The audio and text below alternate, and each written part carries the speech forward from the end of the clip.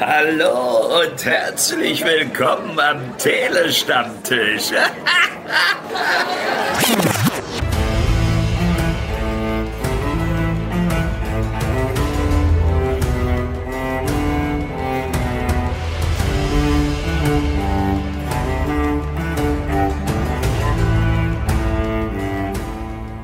Halbzeit bei House of the Dragon und wir sind auch wieder zurück mit unserem Recap zur fünften Folge der HBO-Serie. Wir, das sind der diskussionsfreudige Drachenreiter Dom, grüß dich. Valado Heres. Und heute zu Gast der schamlose Schwertschlucker Stu, der heute zum Glück ohne Säbel in der Kehle mit uns über die neueste Entwicklung spricht. Hallo. Walter Dolores. Immer nicht Harry und Terry. Ich bin Paul und mit dem Buchstaben P gibt es erstaunlich wenig mittelalterliche bzw. Game of Thrones anmutende Berufe. Deshalb einfach nur Paul. Und ich werde wie gehabt durch unsere Besprechung führen.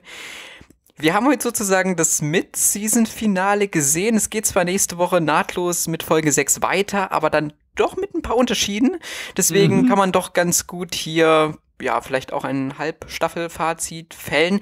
Deshalb würde ich auch ausnahmsweise mal darauf verzichten, unseren Gast jetzt am Anfang zu fragen, wie er die Serie bis hierhin erlebt hat. Denn vielleicht machen wir das am Ende der Ausgabe dann einfach alles mit einem Mal. Ja, wenn ihr uns wie immer Feedback hinterlassen wollt, dann tut das gern in den Kommentaren bei YouTube oder mit einer Mail an info@tele-stammtisch.de. Wir lesen das wie immer durch und äh, diskutieren auch gern mit euch, beziehungsweise nehmen auch eure Gedankenanstöße und Interpretationen da gern mit auf. Und jetzt würde ich sagen, let's go. Folge 5 trägt den Titel äh, We Light the Way. Im mhm. Deutschen. Wir erleuchten den Weg. Oh. Das, das Motto des Hauses Hohenturm? Mm, das ist gut möglich, ja.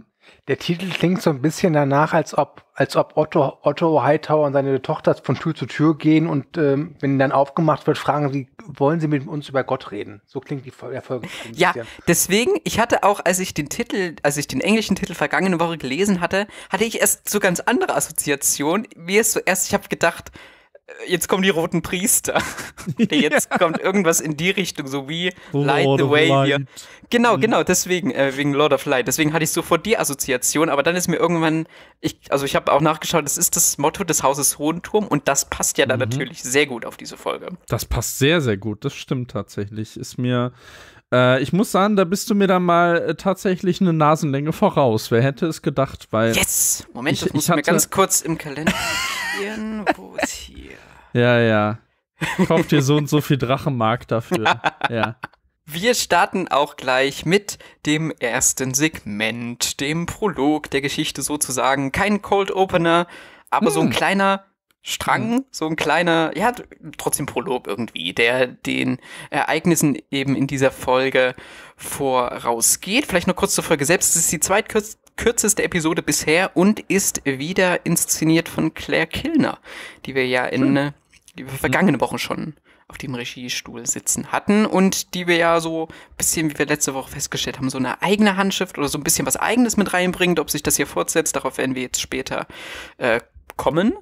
Es beginnt mhm. mal nicht bei den Targaryens.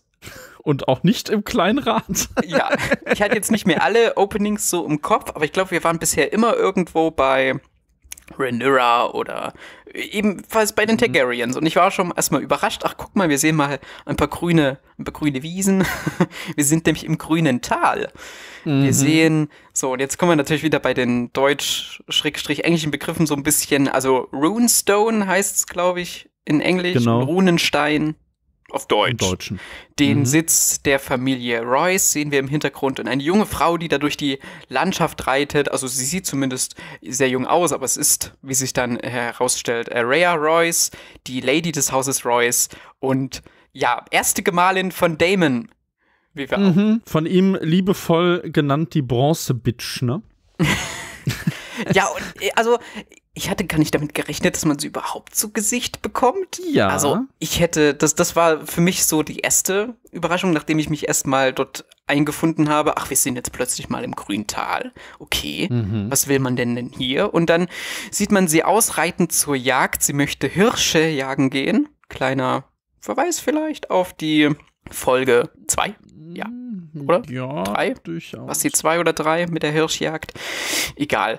Und dann trifft sie auf einen Mann in einem Umhang, der da durch das grüne Tal marschiert und mehr oder weniger durch Zufall auf sie trifft und dieser Fremde entpuppt sich als ihr Gemahl, als ihr Ehemann Damon Targaryen, der ihr da gegenübertritt. Äh, sie erkennt den tatsächlich auch sofort. Sie ne, erkennt ihn obwohl er- sofort, ne? Obwohl er da Ja, seine obwohl er- Kapuze aufhat und ja Genau. auch seine, seine Haare geschnitten hat und alles. Und ich habe mich auch gefragt, bist du jetzt hierhin gelaufen? Also wahrscheinlich nicht. wahrscheinlich hat er seinen Drachen irgendwo abgestellt, aber ja, ja, ja. er kommt da er so deswegen- irgendwo. er kommt da so des Weges gelaufen, als ja, es wäre einfach mal auf gut Glück ins grüne Tal marschiert, äh, in der Hoffnung oder ja, was ist sein Sinn? Darüber können wir jetzt gleich zum ersten Mal äh, diskutieren. Äh, die beiden haben ein kurzes Gespräch miteinander. Jedenfalls nähert sich Damon immer weiter dem Pferd. Das Pferd, äh, auf dem äh, Rhea Royce sitzt, äh, bäumt sich irgendwann auf, wirft sie von ihrem Rücken und sie fällt. Und dann Mhm. Ja, sie liegt auf dem Boden. Sie haben ja auch vorher, äh, also sie, sie spricht ihn ja an und provoziert ihn tatsächlich auch, ne? Weil äh, Ja, zu Recht, also würde ich mal sagen. Also wir haben ja in den Ja, ja. letzten Folgen kennengelernt, wie, was, also was Damon von seiner, von seiner Gemahlin hält, von seiner ersten.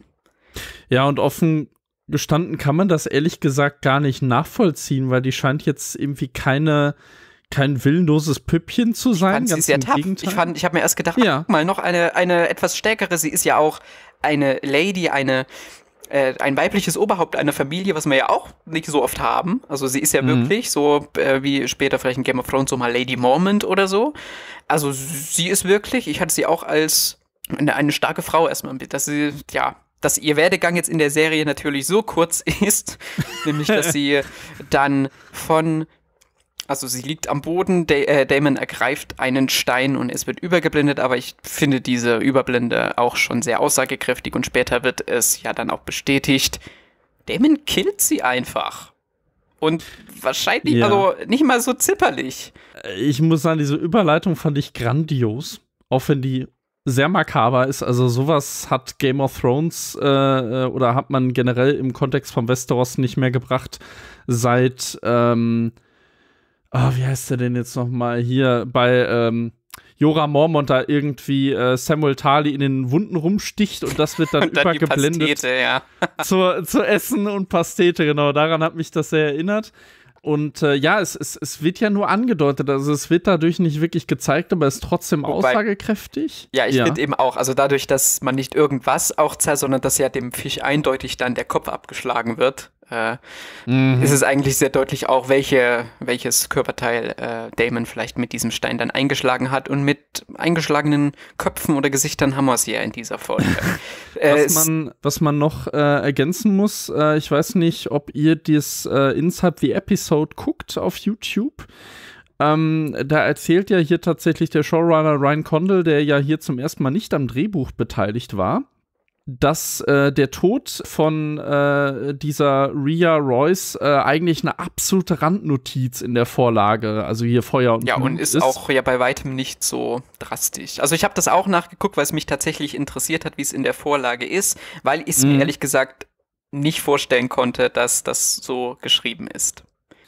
Ist es auch nicht, soweit ich weiß. sie, sie, aber sie fällt, glaube ich, einfach nur, äh, also stürzt vom Pferd, schlägt sich da den Kopf auf und stirbt dann irgendwie Schädelbruch. neun Tage, genau. nachdem sie, äh, ja, nachdem sie gestürzt ist. Genau, und Ryan Condal war dann aber wohl irgendwie, als er das äh, Buch gelesen hat, äh, weil er es ja adaptieren musste, ist er da irgendwie stutzig geworden, dass da nicht eventuell doch was im Spiel war. Und das kennt man ja durchaus auch von Game of Thrones, wenn man jetzt zum Beispiel auch an äh, Robert Baratheon im Königswald denkt mit äh, dem, äh, dem, dem, äh, Eber-Angriff da, ne? Also da war ja auch schon, also der, der Wein machte ihn träge, weil der vergiftet war und der Eber schlitzte ihn auf. Also da ist auch nicht alles immer so natürlichen Ursprungs. Ich muss sagen, ich fand das sehr toll. Also so adaptiert man meines Erachtens eine Vorlage. Ja, Stu, was sagst du denn? Also dadurch, durch dieses, durch diese Tat bekommt ja auch noch mal Damon so Beachtung oder seine Taten stehen noch mal im Vordergrund, weil ich, mich hat das tatsächlich so ein bisschen gestört, weil ich da wieder finde, dass da sein Charakter, also wir hatten es sowieso schon, Damon ist so ein total so ein Charakter, der mal von, ja, ich kann es irgendwo nachvollziehen, was du machst, bis hin zu, was bist du eigentlich für ein ekelhafter und auch wahnsinniger Dude. Und ich habe, es wirkte für mich tatsächlich hier wie ein Fremdkörper, wie zusammen gebogen, wo, wo ich, wo in meinem Kopf, wo ich sofort gedacht habe, das wird garantiert nicht so geschrieben worden sein, weil das ist zu, ach, keine Ahnung. Bisschen zu plakativ, ne? Ja, mhm. ist, ist dir da irgendwas eingefallen oder wie findest du Damon in dem Moment, du? Also ich muss jetzt hier erstmal äh, äh, ein Geschettes machen. Ähm, das werden die werten Zuhörer, Zuhörerinnen ja garantiert im Laufe dieses Podcasts herausfinden. Ich bin kein Experte, was dieses Franchise angeht. Und bei mir war es wirklich so, er kommt da um die Ecke mit seiner schwarzen Kapuze und mein erster Gedanke war so, habe ich irgendwas verpasst? Habe ich, hab ich irgendwas vergessen? Was macht der da? Und in meinem Kopf haben sich die wüsten Sachen zusammen äh, spekuliert, denn ich dachte mir, okay, diese Frau auf dem Pferd, die muss wichtig sein, die habe ich vergessen. Was ist denn da los? Was ist denn da los? Und mhm. Dann, ähm, dann bringt er sie halt um auf auch eine sehr, wie ich finde, fiese Art und Weise, wobei ich ja auch zuerst dachte, ähm, also sie liegt halt da und er demonstriert nochmal seine Macht, indem er irgendwie ihren Arm so ein bisschen rumsteigt mhm. und dann mhm. sagt, geht er so weg und dann sagt sie ja noch sowas so, pff, ne, hast, eine, hast du keine Eier, mich umzubringen, so nach dem Motto. Ja. Und dann wirft er ihr die, so diesen Blick um, so, ja gut, wenn du es so haben willst, bitte. Und nimmt halt diesen Riesenstein. Also da, da liegen halt mehrere mhm. Steine rum, aber er nimmt natürlich genau den, der extra groß und extra spitz ist. Ne? Ja, ja, Spaß muss sein. Und dann kommt ja der von euch schon diese Transition, wie er schon gesagt hat. Und ich konnte mit dieser Szene nichts anfangen. Wirklich gar nichts. Also ich, ich dachte mir, was will das? Was soll das? Und am Anfang dachte ich mir so, okay, ist halt Damon. Weil Damon mhm. ist für mich so dieser, dieser Asskicker, dieser Typ so, der sorgt mhm. für Probleme, dieser, dieser Rebell, der seinen eigenen Weg geht und den kann man nicht wirklich was vormachen. Mhm. Und diese Szene hat mir jetzt rückblickend eine Sache endgültig klar gemacht. Ich glaube, dass Damon einfach ein Arschloch ist.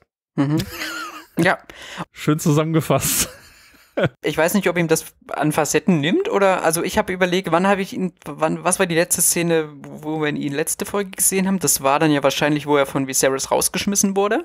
Ja, wo er, wo er auf dem, äh, zu Füßen von Viserys lag, auf dem äh, Boden und äh, unter anderem, also da, da ist ja dann, glaube ich, diese Situation, wo er äh, äh, dann, äh, also da, da, ist ja das, wo, wo Viserys ihn damit konfrontiert, was er da veranstaltet hat in den Freudenhäusern genau. und er krönt das Ganze dann dann noch mit. Und ich bin mir nicht sicher, liebe Zuhörerinnen und Zuhörer, ihr könnt es gerne in, dem, in die Kommentare schreiben, aber ich bin mir nicht sicher, ob wir letzte Mal erwähnt haben, dass er allen Ernstes Viserys um die Hand von äh, Rhaenyra bittet in dieser Szene um, um wirklich dem ganzen wortwörtlich Krone aufzusetzen und nochmal richtig seinen Bruder eigentlich zu provozieren.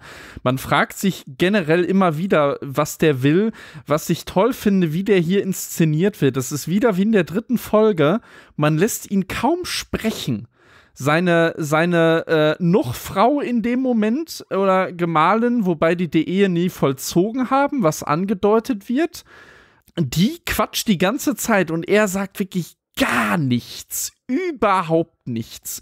Und ich musste auch dran denken, ähm, äh, ich weiß gar nicht, ich glaube, das hatten wir in der vierten Folge schon irgendwie richtig interpretiert in dieser äh, äh, Bordellszene. Äh, warum Damon gegangen ist, das haben ja die Showrunner dann im Making-of dann auch gesagt, dass ähm, er äh, äh, Rhaenyra dort hat stehen lassen, weil sie ihm auf Augenhöhe begegnet ist. Er ist jemand, er möchte Leute dominieren, gerade Frauen möchte er dominieren. Und er kommt nicht damit klar, wenn eine Frau resolut und tough ist. Und dann weiß man auch ganz genau, warum er mit äh, Rhea Royce absolut nichts anfangen konnte. Mhm. Und ich könnte mir vorstellen, dass er in dieser Szene mit Rhaenyra sogar an die erinnert wurde, die er ja wirklich hasst und die man sich eigentlich ziemlich, sagen wir ehrlich, Paul, hast du dir die nicht ziemlich langweilig vorgestellt? Wenn er so also ich, war, ich muss sagen, ich war auch am Anfang, war ich total, wer ist das denn jetzt? Also ich fand cool, äh, äh, ein, ja. eine, eine taffe Anführerin natürlich, aber das ist ja natürlich auch wieder das Spiel mit den, mit den, mit den äh, Beschreibungen, Erwartung. mit den Umschreibungen, mit den, ja. na, mit den Namen, die denen dort angehangen wird. Mhm, und richtig. aber den, den, den Sprung, den Schnitt jetzt, die, die Brücke, ich habe es mir dann vielleicht zusammengereimt, vielleicht wollte er sich jetzt endgültig dann, also warum sucht er sie überhaupt auf? Ist es, weil er sich vielleicht, wie du gesagt hast, durch Rhaenyra jetzt an sie erinnert gefühlt hat und er will damit irgendwie noch abschließen? Er hat eben diese Sache da noch im grünen Tal, da ist noch was, da von dem will er sich jetzt irgendwie lösen. Er hatte mhm. wahrscheinlich nicht mal vor, sie umzubringen. Er wollte es, keine ich weiß es nicht, keine Ahnung. Er hat sich auch jahrelang nicht mehr blicken lassen. Ich weiß nicht, warum er, was ihn dazu jetzt nochmal bewegt hat. Für mich wirkt es jetzt zum Schluss so, so, ich mache jetzt hier aber mal. Einen Tisch. Genau, und jetzt mhm. aber auch richtig, dass mich das, äh, in Anführungszeichen, dass mir das nicht mehr auf die Nerven geht oder dass ich da nicht mehr dran denken muss, weil das existiert dann einfach nicht.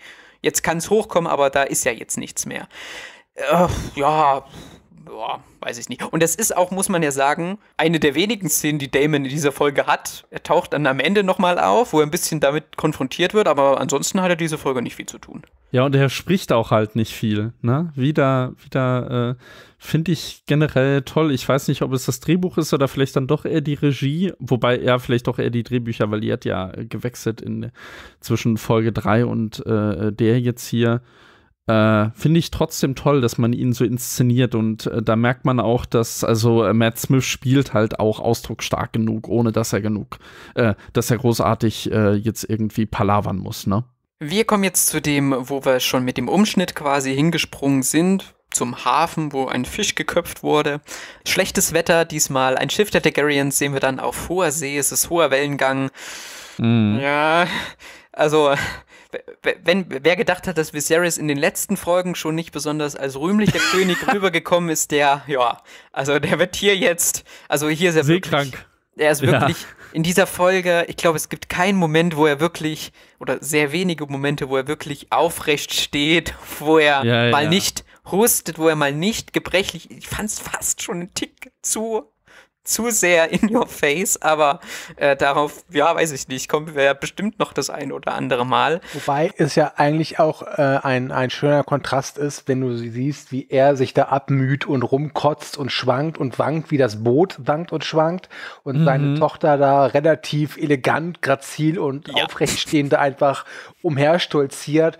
Das ist schon sehr schön bildsprachlich dafür nach dem Motto, ich glaube, es wird Zeit, dass er endlich mal also den Thron abgibt oder so. Ne? Sowieso auch ja. das, auch diese, dieser unruhige Wellengang, den habe ich dann auch. Wenn wir jetzt wieder mal, wir gucken heute mal auf die Bildsprache, das wurde sich ja unter anderem auch gewünscht in den Kommentaren, ähm, dass dieser raue Wellengang natürlich auch so ein bisschen das verbildlicht, was denn gerade innerhalb der Targaryen-Dynastie abgeht. Also da ist nichts mehr mit hier, wir haben eine Ruhe, wir haben einen König, der jetzt hier jahrelang regiert, sondern mhm. nein, hier braut sich im wahrsten Sinne ein Sturm zusammen, der jetzt eben hier ja, sehr, sehr zum Ausdruck kommt. Die, die, ja, Viserys, wie gesagt, äh, übergibt sich und dann steht ein Herr neben Viserys, Ach den so, wir jetzt auch ja, schon. wollte ich gerade drauf kommen. Genau. Lionel Strong. Lionel, Lionel, ich weiß gar nicht, wie er im Deutschen heißt? Lionel Kraft heißt er im Deutschen. Lionel Kraft, okay.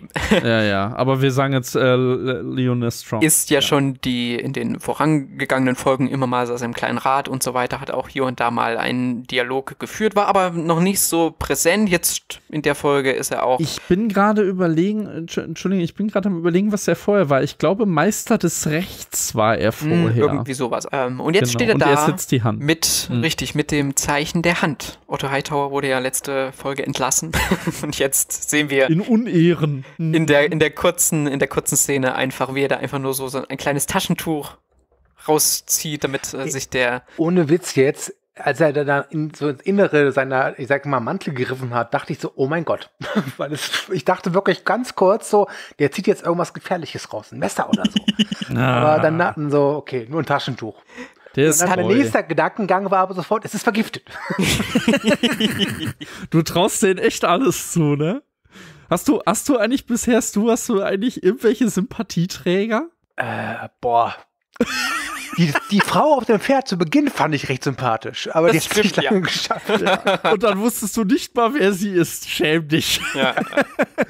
In, der, in der Tat ist es wirklich so, dass die Serie bislang für mich sehr arm an echten Sympathiefiguren ist, mhm. was ich aber jetzt gar nicht so sehr als Kritikpunkt sehe.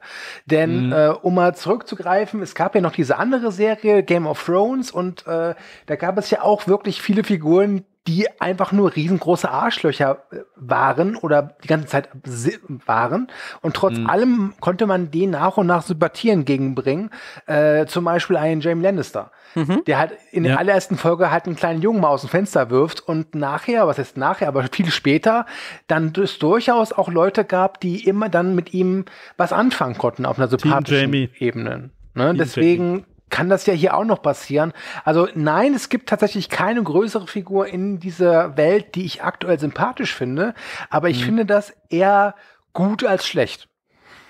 Ja, mhm. durchaus. Ja, das stimmt. Bei Game of Thrones war halt der Vorteil dadurch, dass man nicht so viel Zeitsprünge und so weiter hatte, dass man die Figuren ja. dann natürlich auch eine ganze Zeit lang eben begleitet hat und nicht immer so äh, ein paar Sprünge zwischendrin hatte, wie man es ja höchstwahrscheinlich nach dieser Folge haben.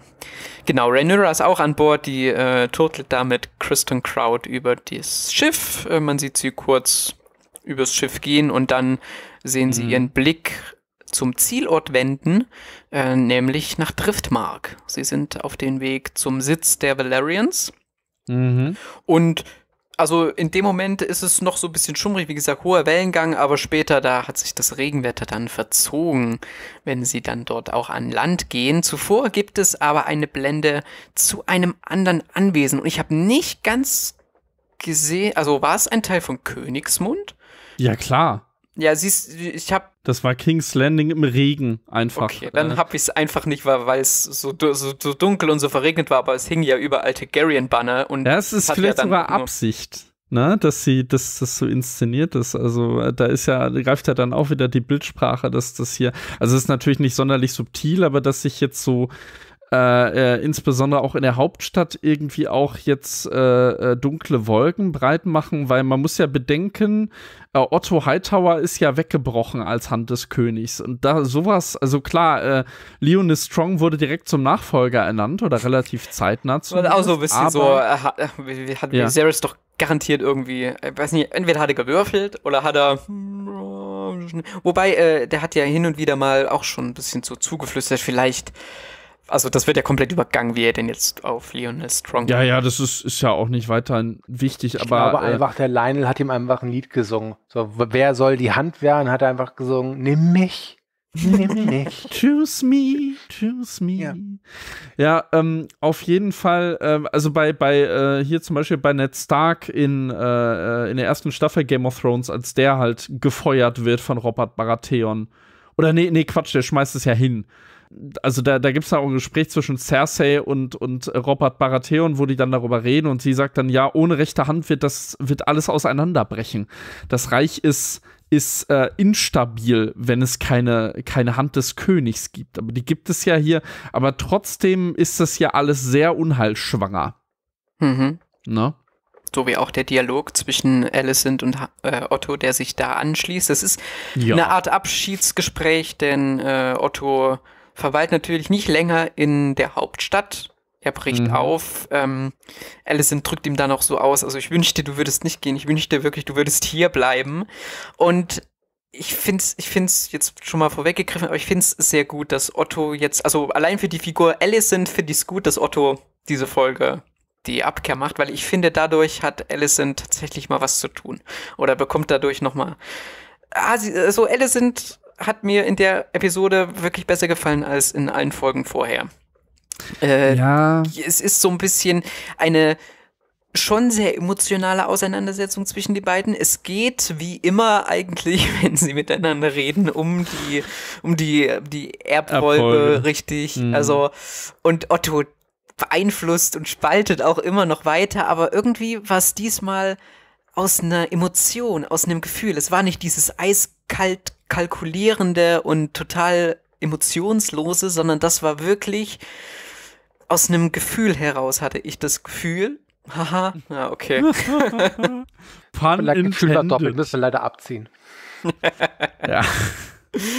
Und wie, wie war das Gespräch? Es, es bleibt auch Ottos einziger Auftritt in der Folge.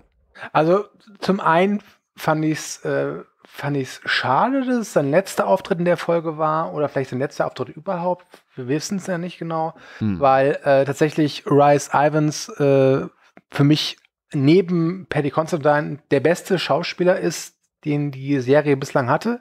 Mhm. Also das war einfach, da gucke ich einfach gerne zu. Ähm, ich fand das Gespräch auch schön, weil er ihr das sagt, was wir alle vermutet haben jetzt seit äh, vier Folgen und jetzt sagt es halt frei raus, was seine Absichten sind und immer noch waren und äh, was auf uns zukommen wird, nämlich ein Krieg. Äh, das zeigt eben auch, dass er ähm, eigentlich sehr gut bei Verstand ist, äh, im Gegensatz zu anderen Figuren.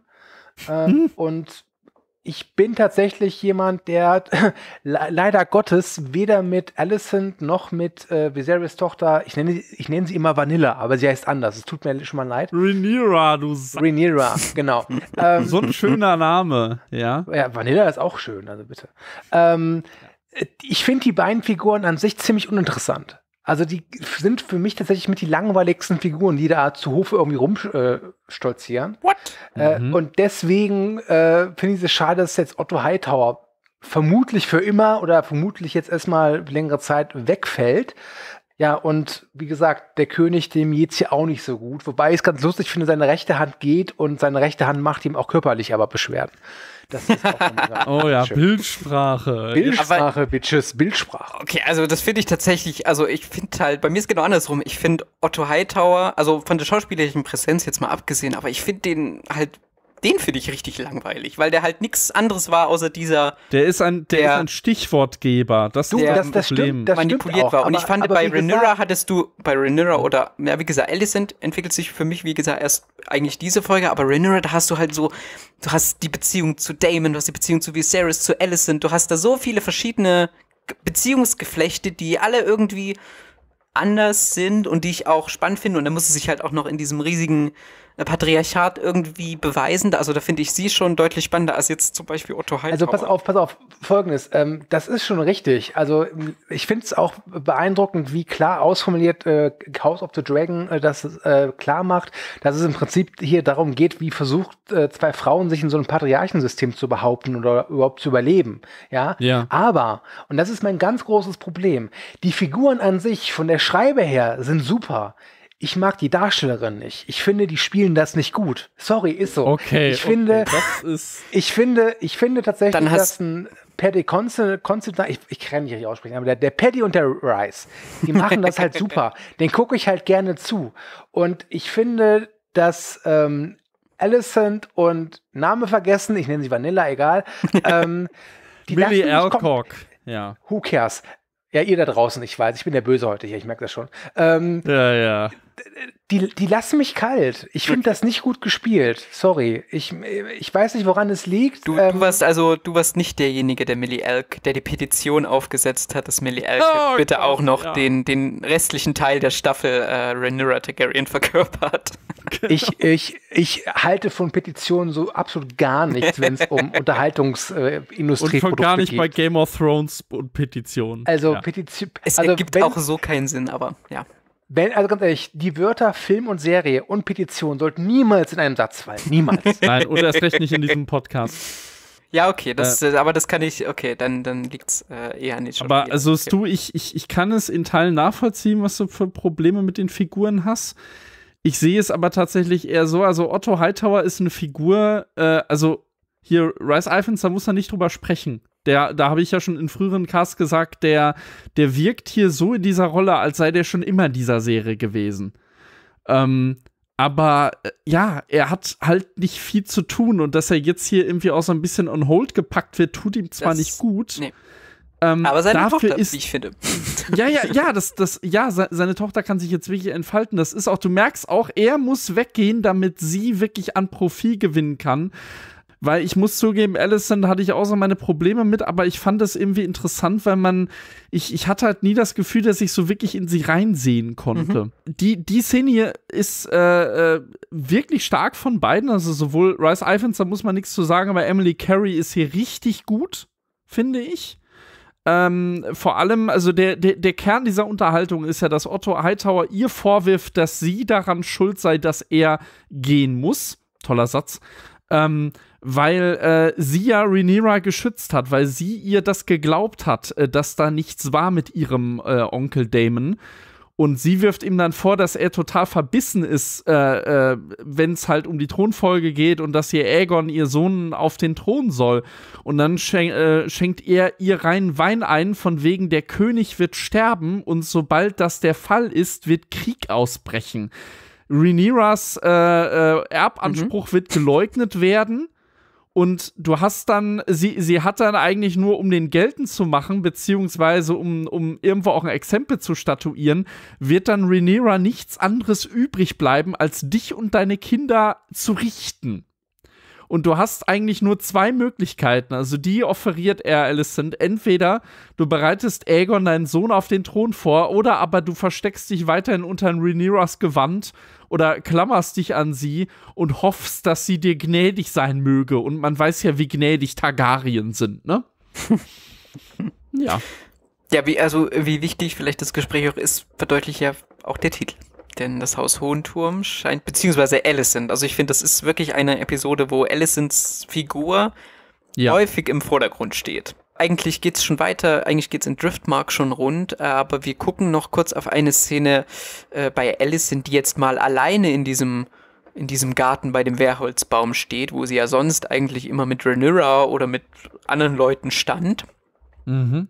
Direkt die nächste interessante Szene, wie ich finde. Und dann schleicht ein Lord heran, der Lord Laris. Lord Laris. Genau. Mhm. Der, wie sich herausstellt, der Sohn von Lionel Strong ist den wir auch schon gesehen haben in der Jagd, äh, bei der Jagd in Folge der, 3. Der, der, der reingehumpelt ja, kam. Genau, der, der ist ein Kriegsversehrter irgendwo. Ja. Und, und also dann kommt ja. erstmal so ein, so ein kleiner Dialog oder so ein kleiner, weil Lord Laris äh, bleibt ja erstmal in so einer Blume stehen und mhm. sagt dann noch sehr bedeutungsschwanger, oh, eine Außenseiterin unter den heimischen Gewächsen. Und ja. Ich hatte es noch, also ich hatte es noch nie so bei House of the Dragon, aber das war so, mm, das war jetzt schon sehr platt. Also, okay, dieses ganze Och. Bild, dieses ganze Setting, ich, ich fand, ich hatte fast ein kleines Cringe-Gefühl bei diesem Satz, weil ich wusste, ach ja, okay, ihr, ich verstehe auch, dass ihr mir das jetzt hier wieder sagen wollt, aber mir hätte das Bild von Alicent allein in diesem Garten gereicht, um zu zeigen, guck, um, oder um nochmal zu verdeutlichen, guck hier, sie ist die Außenseiterin, dass er dann nochmal so da, da reinkommt und das dann nochmal mit dieser Metapher aufs Auge drückt, das fand ich ein bisschen too much, aber letztendlich mhm. war es halt dann nur ein Gesprächseinstieg äh, zu dem, was dann noch kommt und zu dem Wiederaufgreifen des Endes des von des Endes, das, das ist egal, von dem was letzte Folge 4. Genau, mhm. das von dem was letzte Folge am Ende passiert ist. Du, wie hat dir diese kleine diese kleine Szene gefallen? Da bin ich voll bei dir, Paul. Also gerade der Anfang dachte ich mir, Leute, das ist jetzt echt too much. Also allein wie der Typ da so rumgeht, so mit diesem Gehstock und dann guckt er die immer so an, so nach dem Motto so, ich meine es ja nur gut, aber Habt ihr schon gehört? Ey, das, ja. ich habe seinen Namen vergessen. Also ich nenne ihn einfach nur Lord Punchface. Also das ist so, das, das, das, hat für mich wirklich, das war für mich wirklich die in Anführungszeichen schlechteste Szene dieser Folge. Ja. Also die hat oh, mich wirklich okay. gestört.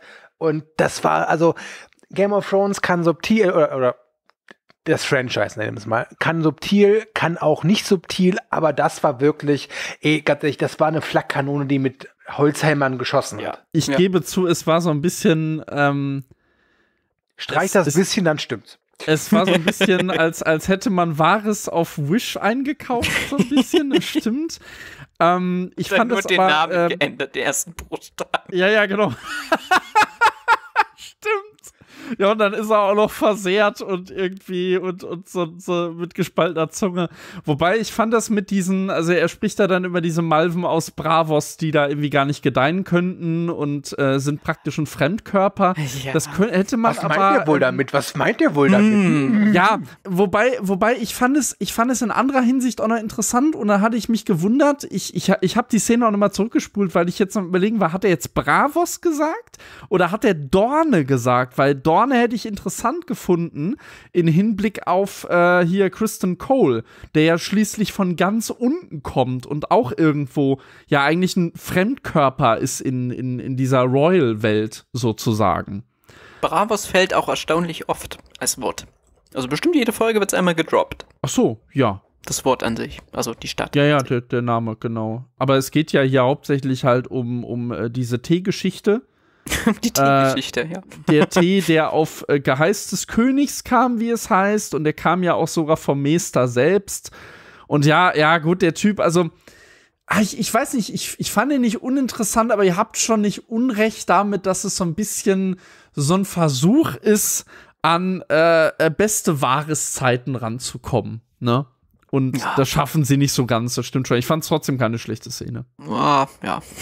Ich muss sagen, so wie er sich halt verhalten hat, hätte der besser äh, hinter Saruman gepasst ne? oder hinter K König Theoden als Klima-Schlangenzunge-Ersatz. Also, Mhm. Genau, falls ihr mehr über das Herr der Ringe-Universum Sorry, falls ihr mehr über das Herr der Ringe-Universum hören wollt, dann hört gerne bei den Recaps zu Rings of Power vorbei. Die jetzt parallel laufen.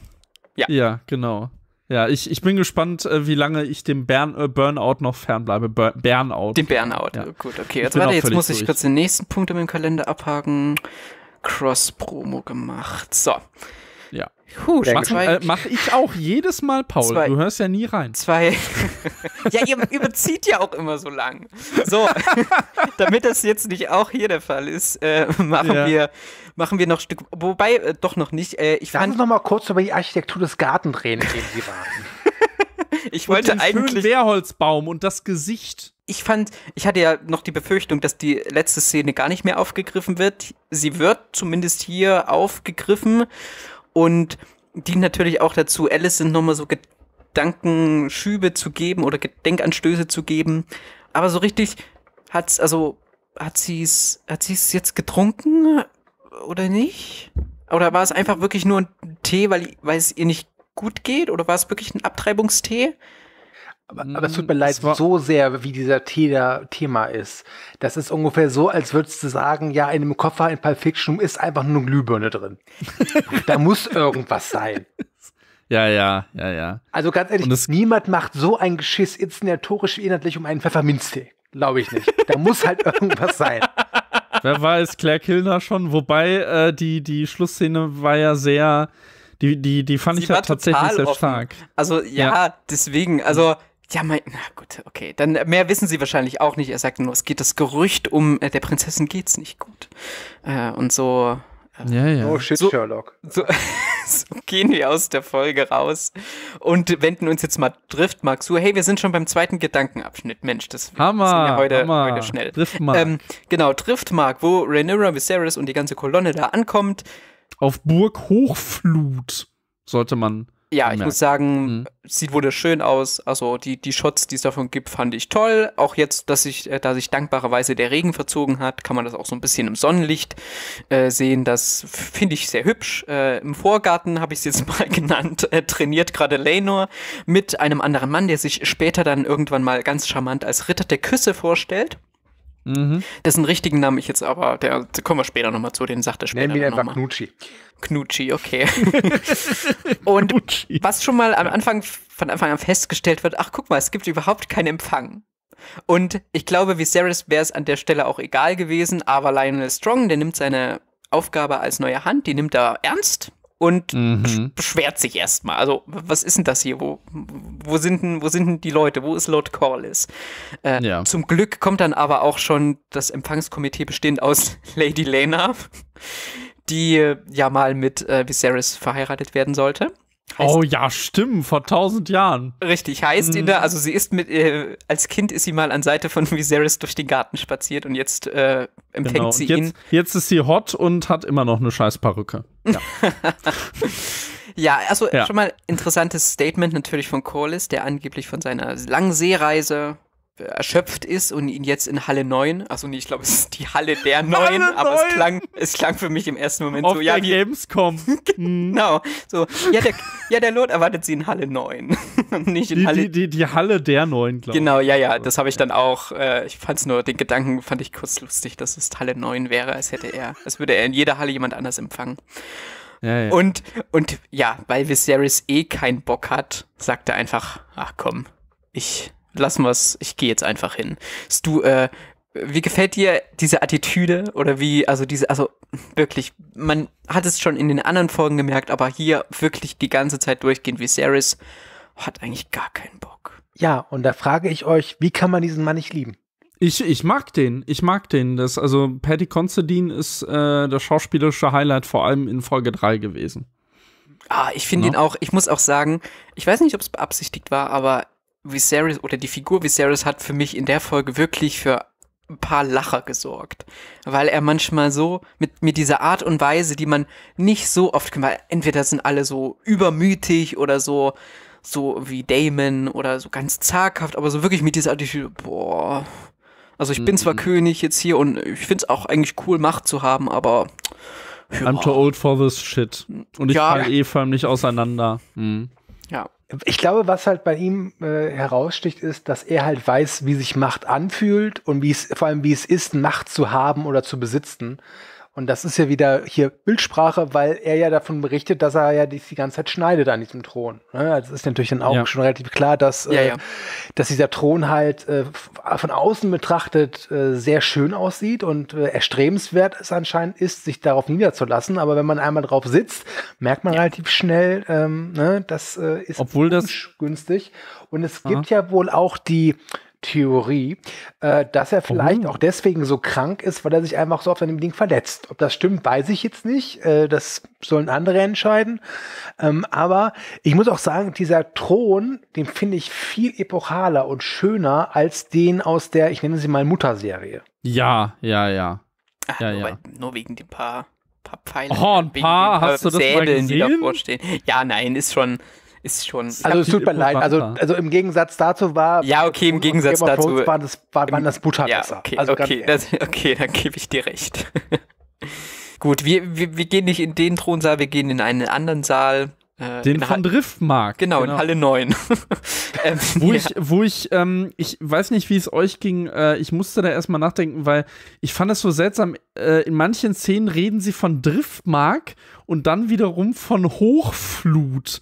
Und da war ich wirklich am überlegen, weil ich habe es ja, äh, wie gesagt, auf Deutsch gesehen. Äh, Schande über mich und äh, da war ich wirklich so ganz kurz am überlegen, haben sie hier irgendwie Scheiße gebaut bei der Übersetzung? Aber nee, Driftmark ist die Insel Mhm. und Hochflut ist die Burg, auf der sie sich jetzt befinden. Ah, Ne? okay, also dann gehen sie jetzt äh, durch Hochflut Hoch kommt vor dem Fall. ähm, und werden dort durch die, durch die Gänge geführt. Äh, die Männer dürfen natürlich ein Stückchen weitergehen als die Frauen, die da wortwörtlich vor der Tür einfach stehen gelassen werden. Äh, Und Lena, ausgesperrt. genau, Mhm. Lena ist da, also führt Rhaenyra dann weg und da, also ich erwähne das jetzt nur, weil es in dem Moment, das war für mich irgendwie total seltsam, weil wir ja in Folge 2 diese Lena als Kind gesehen hatten und Rhaenyra, die die beiden bei ihrem Spaziergang da beobachtet hat. Und jetzt sieht Rhaenyra halt immer noch gleich aus. also für mich. Und Lena Ja. ist jetzt einfach eine, eine junge Frau und also ich finde, sie sehen fast gleich alt aus. Und das hat mich so kurz Mhm. aus der Bahn geworfen, weil ich das, ja, ich weiß nicht. ist etwas seltsam. Die sind ja, äh, ich glaube, Lena ist ihre Cousine. Ne? Ja, genau, richtig. Ja, also wegen Rhaenys dann. Wegen? Rhaenys, ja. Äh, Was wir vor allem noch auf Driftmark sehen, das ist eher so beiläufig, aber finde ich ziemlich toll. Durch die Gänge. Äh, hm, was? die Gänge. Äh, da gibt's schöne Ja. Wandgemälde und Schädel. Ja, Wandgemälde von Seefahrern. Oh mein Gott, war das toll. ich will, ich will äh, äh, ähm, hier äh, raus. Grüße gehen raus an HBO-Chef Casey Blois. Ich will einen Corlys Velaryon Spin-off. Danke sehr. Das heißt einfach nur The Sea Snake. So. Ja, Praktisch so eine Art Shaft mit Segeln. Ja. Das wäre mega geil. Wirklich. Ja, hier ist es erstmal mehr Kulisse. Also man sieht auch nicht wirklich mehr davon. Ich meine, der äh, hier Halle 9, also die Halle der 9, die ist schon, ist da auch nochmal sehr schick eingerichtet und da treffen dann Viserys und Corlys aufeinander. Ich hatte ja auch erst überlegt, warum lässt er ihn jetzt warten? Ist er vielleicht doch noch ein bisschen angeschlagen, dass Viserys äh, Lena irgendwann mal abgeschlagen hat? und lässt ihn deshalb da erstmal vor der Tür sitzen und lässt ihn dann auch noch von Lena abholen. Äh, das könnte ich mir vorstellen. Äh, aber Durchaus. Eigentlich begegnen sie sich immer noch, also er begegnet ihm natürlich auch noch mit dem gewissen Respekt, verbeugt sich auch noch alles und so weiter. Und nieder, nennt ihn euer Gnaden. ich Genau. glaube auch, dass Corlys das wertschätzt. Das wird sicherlich auch zu ihm durchgedrungen. Oder er sieht ja, dass Lionel Strong jetzt dahinter steht. Ihm, ihm wird das er wird es wohlwollend aufgenommen haben, dass er sich von Otto getrennt hat, denn Otto war ja schließlich der Einflussnehmer, der ihn dann von der Wahl der Tochter hat abbringen lassen. Ja. Genau, es, da kommt schon an dieser Stelle kurze Sprache, dass äh, Lady Rhea Royce leider verstorben ist. Bei einem Jagdunfall, abgeworfen vom Pferd. Mm. Obwohl sie als fähige Reiterin und Jägerin galt. Und das wird schon ein wenig, äh, äh, ja, skeptisch beäugt, sage ich mal, ne? Ja. Von so allen, die darüber reden in dieser Folge. So insgesamt. Viserys ist das eigentlich ziemlich egal. Und da war der, ja, der da, hustet sich eh ein ab wie Walter White nur noch, ne? da war, fand ich, da fand ich, war der erste Knaller, wenn er einfach nur ganz trocken sagt, können wir vielleicht mal zu was Erfreulicherem kommen. Und er Corlys Ja, dann ja. einfach das Angebot unterbreitet. Was wiederum ja eigentlich auf einen Anstoß von Otto beruht, oder? Weil er hat doch gesagt, hier, ihr müsst mal wieder das, äh, die Valerians zurück ins Boot holen. Weil, äh, weil, Ja. äh, weil Lena ja zu dem Herrn da von Bravos äh, verheiratet wird. Ähm, und ja, Corlys begegnet ihm erstmal, ja, okay, da würde er aber gerne noch ein paar Einzelheiten klären, wie zum Beispiel die Erbfolge. Schon Und wieder. Viserys, und das ist wirklich ein Moment, wo, wo der ja stark bleibt, ne? Oder wo er vielleicht auch so ein bisschen eigensinnig oder so ein bisschen, wie so ein, wie so ein kleines Kind, so auf seiner Meinung, nein, das Rhaenyra ist jetzt die Erbin und das ist so. Ja? Und, Genau. und dann finde ich aber auch schön, dass er sagt, dass egal welches, äh, welches Geschlecht der, der Nachfahre hat, der soll das nächste Erbe sein. Also auch, also er könnte ja damit den, die Erbfolge revolutionieren oder zumindest, zum, zumindest legt er hier so, so die, die, die Grundsteine dazu. Corlys versucht dann natürlich wieder so mit Traditionen zu sagen, ja hier, aber eigentlich nehmt ihr ja immer die, nehmt ihr ja immer den Namen der, der Den, Väter den an, Nachnamen. den Nachnamen Mhm, der genau. Väter an.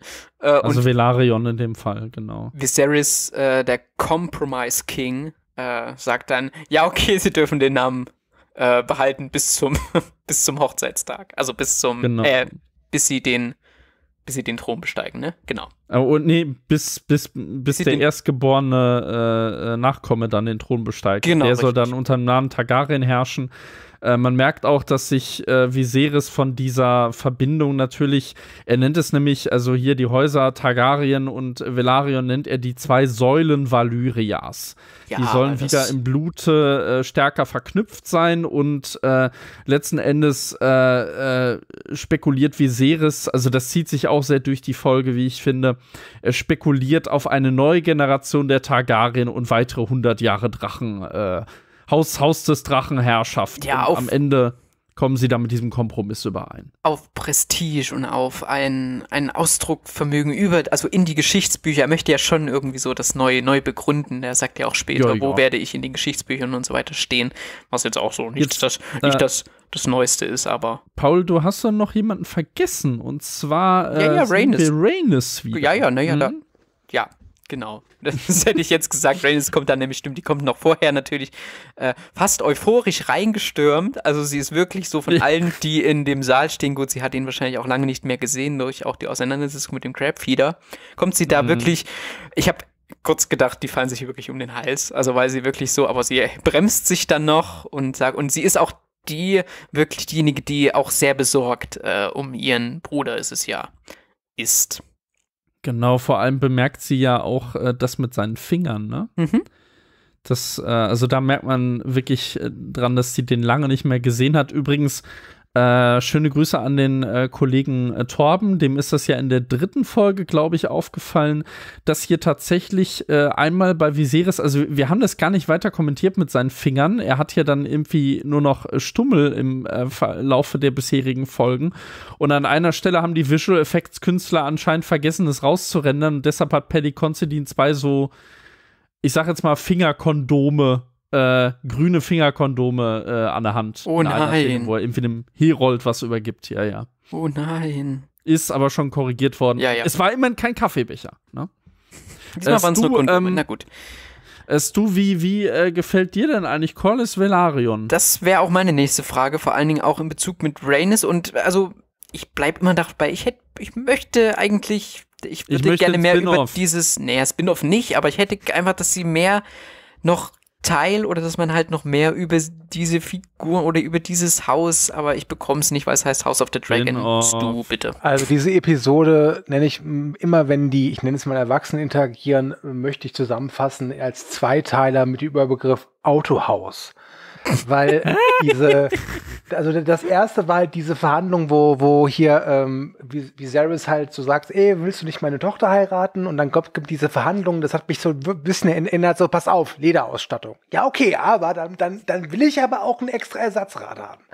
ähm, Ja. und ich fand es aber auch schön, dass er trotz aller Gebrechlichkeit immer noch relativ gut klar gemacht hat, wer der, der König hier ist. Mhm. Mhm. Ähm, das fand ich eine sehr schöne Szene. Und was ich auch eine schöne Szene fand, die mich dann, das ist dann jetzt der zweite Teil zum Thema Autohaus, ist, wenn dann, ich habe seinen Namen vergessen, das ist der, der Chef da mit den mit den Dreadlocks seiner Frau dann erzählt. ähm, ja, ja, warum können die nicht einfach Gerd oder Waltraud heißen? Das wäre für mich einfacher. Es tut mir Ja, leid. natürlich. Meine Frau heißt vielleicht Waltraud. So, ja, das heißt so viel wie die, die sich in den Wald traut. Egal. Also, ähm, wenn, wenn die sich unterhalten und Ja. sie macht ihm halt klar so, "Du, ich will dir nicht zu nahe treten, aber ich hab so auf Königreich regieren keinen Bock. Und das ist, erinnert mich so ein bisschen an so dieses, äh, ja, klischeehafte Autohausgespräch. Schatz, du nimmst die Erstklasse. Ich hätte lieber einen Corsa. Du nimmst die Erstklasse. ne? ähm, fand ich auch eine schöne Szene, die auch mal wieder erneut zeigt, äh, dass es hier, glaube ich, wirklich um eine weibliche Perspektive geht. Oder nicht Perspektive, aber dass eben die Frauenfiguren die wichtigeren Figuren sind. Weil die halt eben wirklich unter ihren, ich sage es mal ganz klar, Mackern auch ein bisschen leiden müssen. Also ein bisschen ist gut, teilweise sehr, denn man kennt halt, also man kennt dieses Universum, man kennt dieses Franchise und man weiß, aus solchen Verbindungen kommt meistens nichts Gutes heraus. Also, dass, dass ich dann eher sage, Junge, ich kenne dich nicht und deine Frau auch nicht, aber sie hat recht. Kauf, den, Opel, kauf den Opel Corsa, lass die S-Klasse zu Hause. Es wird nicht gut ausgehen. Ja, ja, zu der Du, du nennst ihn dann nur noch jetzt Corsa Velaryon Cor wahrscheinlich. Ne? Corsa Valerian klingt, ja, klingt Corsa passend, und Twingo, die, die hier, die, äh, Ja. die, die Herrscher der Dreiecksinsel. Ich, Jetzt bist ich mache mich hier unbeliebt hoch 10, aber okay. Ja, ach, äh, ist der Ruf erst ruinierst du. Ich möchte auch nur es- anmerken, dass ich es war, der herausgefunden hat, dass in Folge 3 Brother Louis läuft. Modern Talking. So. Ja, die GEMA sagt uns Bescheid. Ähm, es gibt da aber auch noch eine andere Szene äh, am Strand. Ja, warte, Ja. Wir, wir, aber da, wenn wir jetzt einmal in diesem Saal sind, dann machen wir noch gleich die, die Ja, zu gut. Ende zwischen Rhaenys und äh, äh, Wie sehr Corlys. toll ist die Szene. Ja, finde ich auch. Am Anfang sieht man ja, äh, äh, Corlys betrachtet äh, ganz stolz die Maske des Crabfeeder. Und dann Mhm. wird auf ihn, äh, auf ihn geblendet und dann gibt es diesen kurzen, dass Viserys sich schon wieder hingelegt hat, bevor er da zurückreist, weil, ja gut, war auch anstrengend. Er hat ja auch den Stuhl abgelehnt in der Szene zuvor. Also er hat ja Mhm. wirklich versucht, da noch seine Präsenz irgendwie zu wahren, obwohl man ihm halt wirklich absieht, dass, ja. Und ich hatte so ein bisschen Gefühl, also Rhaenys sagt es ja auch, dass sie sich um den Sohn sorgt und dass sie auch einen Krieg befürchtet, wenn sich eben die Erben, also Aegon und so weiter, gegen Rhaenyra und Laenor stellen. Das ist eigentlich so ein bisschen die andere Seite der Medaille äh, von dem Gespräch mit äh, Otto und Alicent. Wollte ich gerade sagen. Ja. Mhm. Und, ah, und äh, da stimme ich auch du zu. Hier kommt auch nochmal zum Vorschein, wie gut Rhaenys dieses Spiel kennt und halt Mhm. auch schon, wie sie Corlys auch schon so weit voraus ist, weil er ja noch sagt, you should be queen of the seven kingdoms. Also ihr ist nochmal so ein bisschen unter die Nase reibt, aber Rhaenys sagt, ey, damit habe ich jetzt irgendwann mal, also abgeschlossen, ne? Das ist jetzt nicht mehr. Es ist jetzt, Äh, Zeit. ja. und Ja, die hätte schon Maybach haben können, aber sie gibt sich jetzt mit dem Opel Corsa zufrieden. Und ich finde, also dieses, solche Szenen machen mich dann immer noch neugieriger auf das, ach, ich würde auch gerne mal so ein Gespräch zwischen den beiden so ganz abseits von diesem Throngeplapper und von diesem Intrigenspiel, so einfach mal abseits, so wenn sie sich, ich Paul weiß will nicht, mehr Bettszenen. über, nein, nein, sondern über, übers Wetter, nee, oder über das, so wie Über sich das dann, Wetter, ja. wie sich, wie, wie sich Sag mal, Lena Schatz, und der Pickel von gestern ist der größer geworden. Schau mal bitte nach. wie sich Lena und Rhaenyra dann am Strand über Enten und Gänse unterhalten, ja? Ja. Ey, sorry, oh aber Gott, das, sowas. Ja. diese, diese Szene mit den Enten und Gänsen, also es war, Aber die Also sollte ja auch unbeholfen wirken. Ja. ja, Ja. aber, aber der Typ, also der war ja so unbeholfen, wo ich mir dachte, Gott, Kind, also jeder weiß, was gemeint ist. Also, Ja, wirklich. die labert da ja, ich esse Ente lieber als Gans, weil Ente hat mit zu viel Fett dran. Und im Grunde genommen geht es nur darum, äh, also äh, Rhaenyra und er schließen da eigentlich schon irgendwie einen Deal. Also die haben nichts gegeneinander, aber die äh, sind jetzt auch nicht so, so scharf darauf zu heiraten, aber sie, äh, Rhaenyra fasst dann den Entschluss, sie akzeptieren das jetzt, erf erfüllen ihre Pflicht sozusagen. Da merkt man, da hat auch schon viel von ihrem Vater abgefärbt über die Jahre. Ähm, und äh, dann, äh, nachdem die ihre Pflicht erfüllt haben und ihren ehelichen Pflichten auch nachgekommen sind und gegenüber dem Reich, äh, danach kann jeder das essen, in Anführungsstrichen, was ihm mundet. Und das kommt ja dann in der Szene zwischen Rhaenys und Corlys auch noch mal zum Tragen, denn äh, Rhaenys sagt äh, äh, zu, zu, ähm, zu Corlys, also sie macht sich ja unter anderem deswegen um den Sorgen, weil ja, du kennst ja sein wahres Wesen und dann tut es Corlys so ab mit, ach ja, das verwächst sich. Und was das dann ist, das sehen wir dann ja äh, Das ist in, der, in der so- Szene darauf. Das fand ich so, Aber also, ganz weil das ehrlich, wird hier noch so ein bisschen, weil ich habe es erst so interpretiert, dass das wahre Wesen, also weil er ist halt wirklich noch so unbeholfen, er ist wirklich noch ein Kind. Also ich finde, er ist noch mehr, noch, noch mehr Kind als Rhaenyra, wo wir ja schon immer gesagt haben in den Folgen zuvor, sie kommt noch Okay. sehr kindlich rüber. Ja, die ist ja auch sehr Also- dominant gegen ihn. also über. ich habe ihn nicht als kindlich wahrgenommen, sondern eher so ein bisschen als In der, na, ja. naiv vielleicht so ein bisschen, so ein bisschen, Ja, dass er so ja, seine eigene, unbeholfen. in einer in, unbeholfen, dass er so ein bisschen seine eigene Gedankenwelt äh, verbringt, so wie ich, hallo. ähm, äh, und mir war relativ, also ganz ehrlich, gleich beim ersten Mal, wo sie gesagt hat, so weißt du, die einen essen halt lieber Gans und die anderen essen halt lieber Ente. War mir klar, so, sie will damit sagen, er, er ist schwul. So. Ja, ja, ja, ja. Ne? Und das ist also quasi so, pass auf, äh, mein Papa und meine Mama, die voll, die fahren bald S-Klasse und haben eine größere Garage, die müssen uns dann teilen. Pass auf, Du! ich gehe nach links und Töpfer, du machst deine Macaroni-Bilder rechts und die Mitte müssen wir halt gemeinsam füllen. Das ist Ja, so ja, okay. genau. ja, Das ne? ist die Essenz von Ähm, dem, was sie. Ich, genau. Aber weil ich, Ich weil ich darauf komme, dass, dass er, dass er auf mich noch, äh, Entschuldigung, wir springen hier gerade so ein bisschen, aber das ist ja alles so, was sich eben auf Driftmark so abspielt.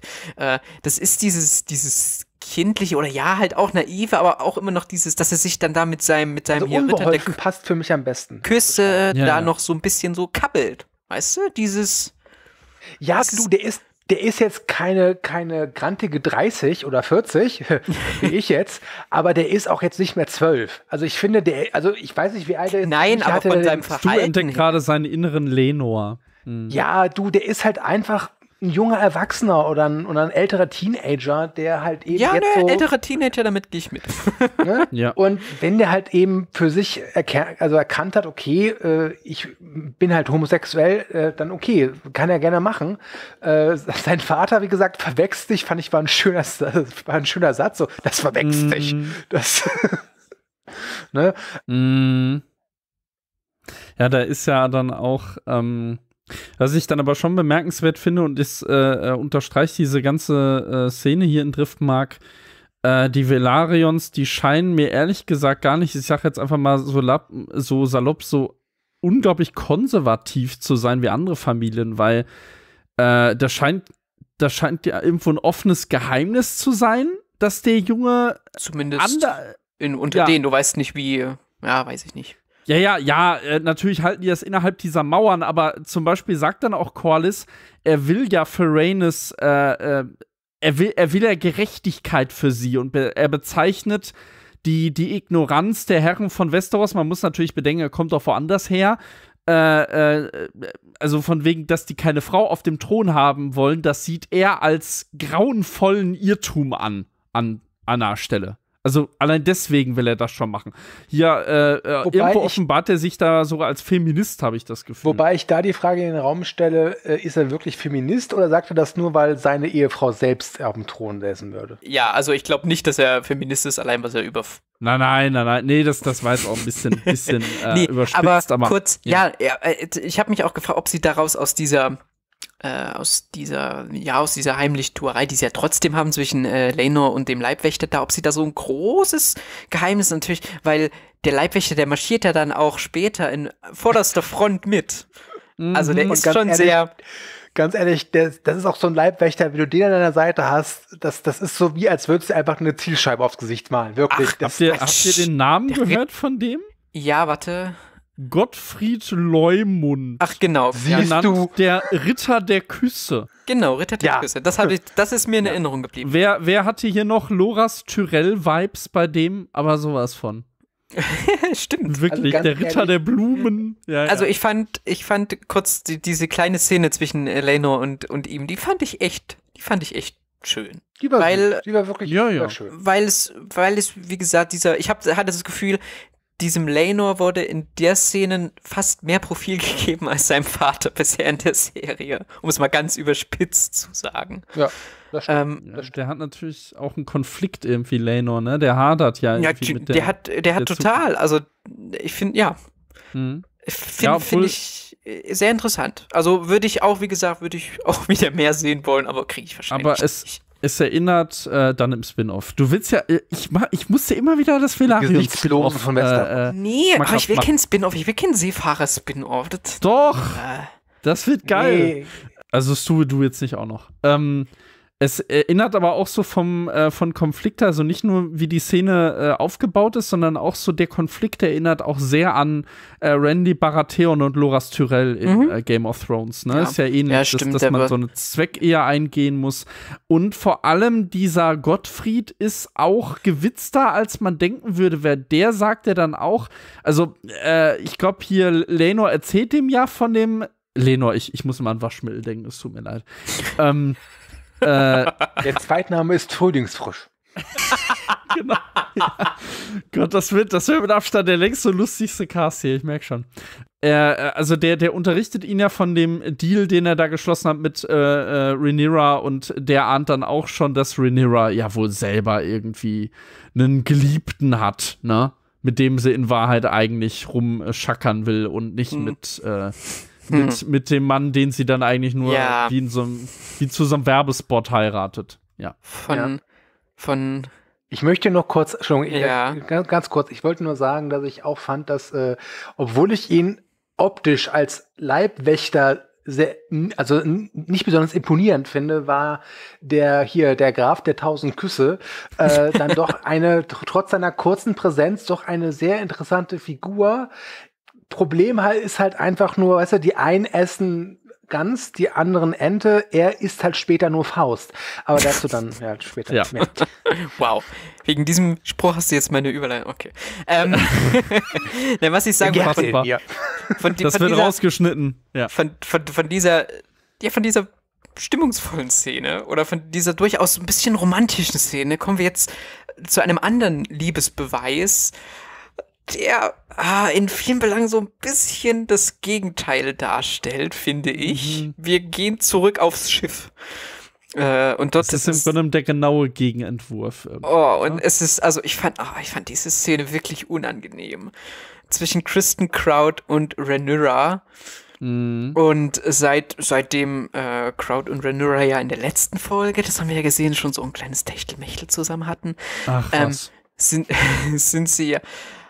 Aber ich habe das Gefühl, dass die Serie denkt, dadurch, dass sie das letzte Folge jetzt so das so miteinander so hatten, ist die Figur jetzt als vollständige Figur etabliert. Also ich habe das Gefühl, dass die wirklich, also dass sie glaubt, dass die, dass das ausreicht, diese Figur jetzt hier äh, facettenreich oder irgendwie so in Szene gesetzt zu haben, dass ich eher, dass sie jetzt Tiefe bekommen hat und dass sie jetzt hier so komische Sachen machen kann. Also ich fand, ich fand wirklich einen sehr seltsamen Dialog und ich konnte damit auch wirklich, also wahrscheinlich, weil ich auch mit der Figur des Kristen Crowd, der wirklich, also der für mich pff, auch wirklich ein Platzhalter oder so ist, nicht Och, ich finde wirklich so ein- so ein Lord Schmalzlocke. Also Oh, der ist ja, auch ich- echt nicht gut.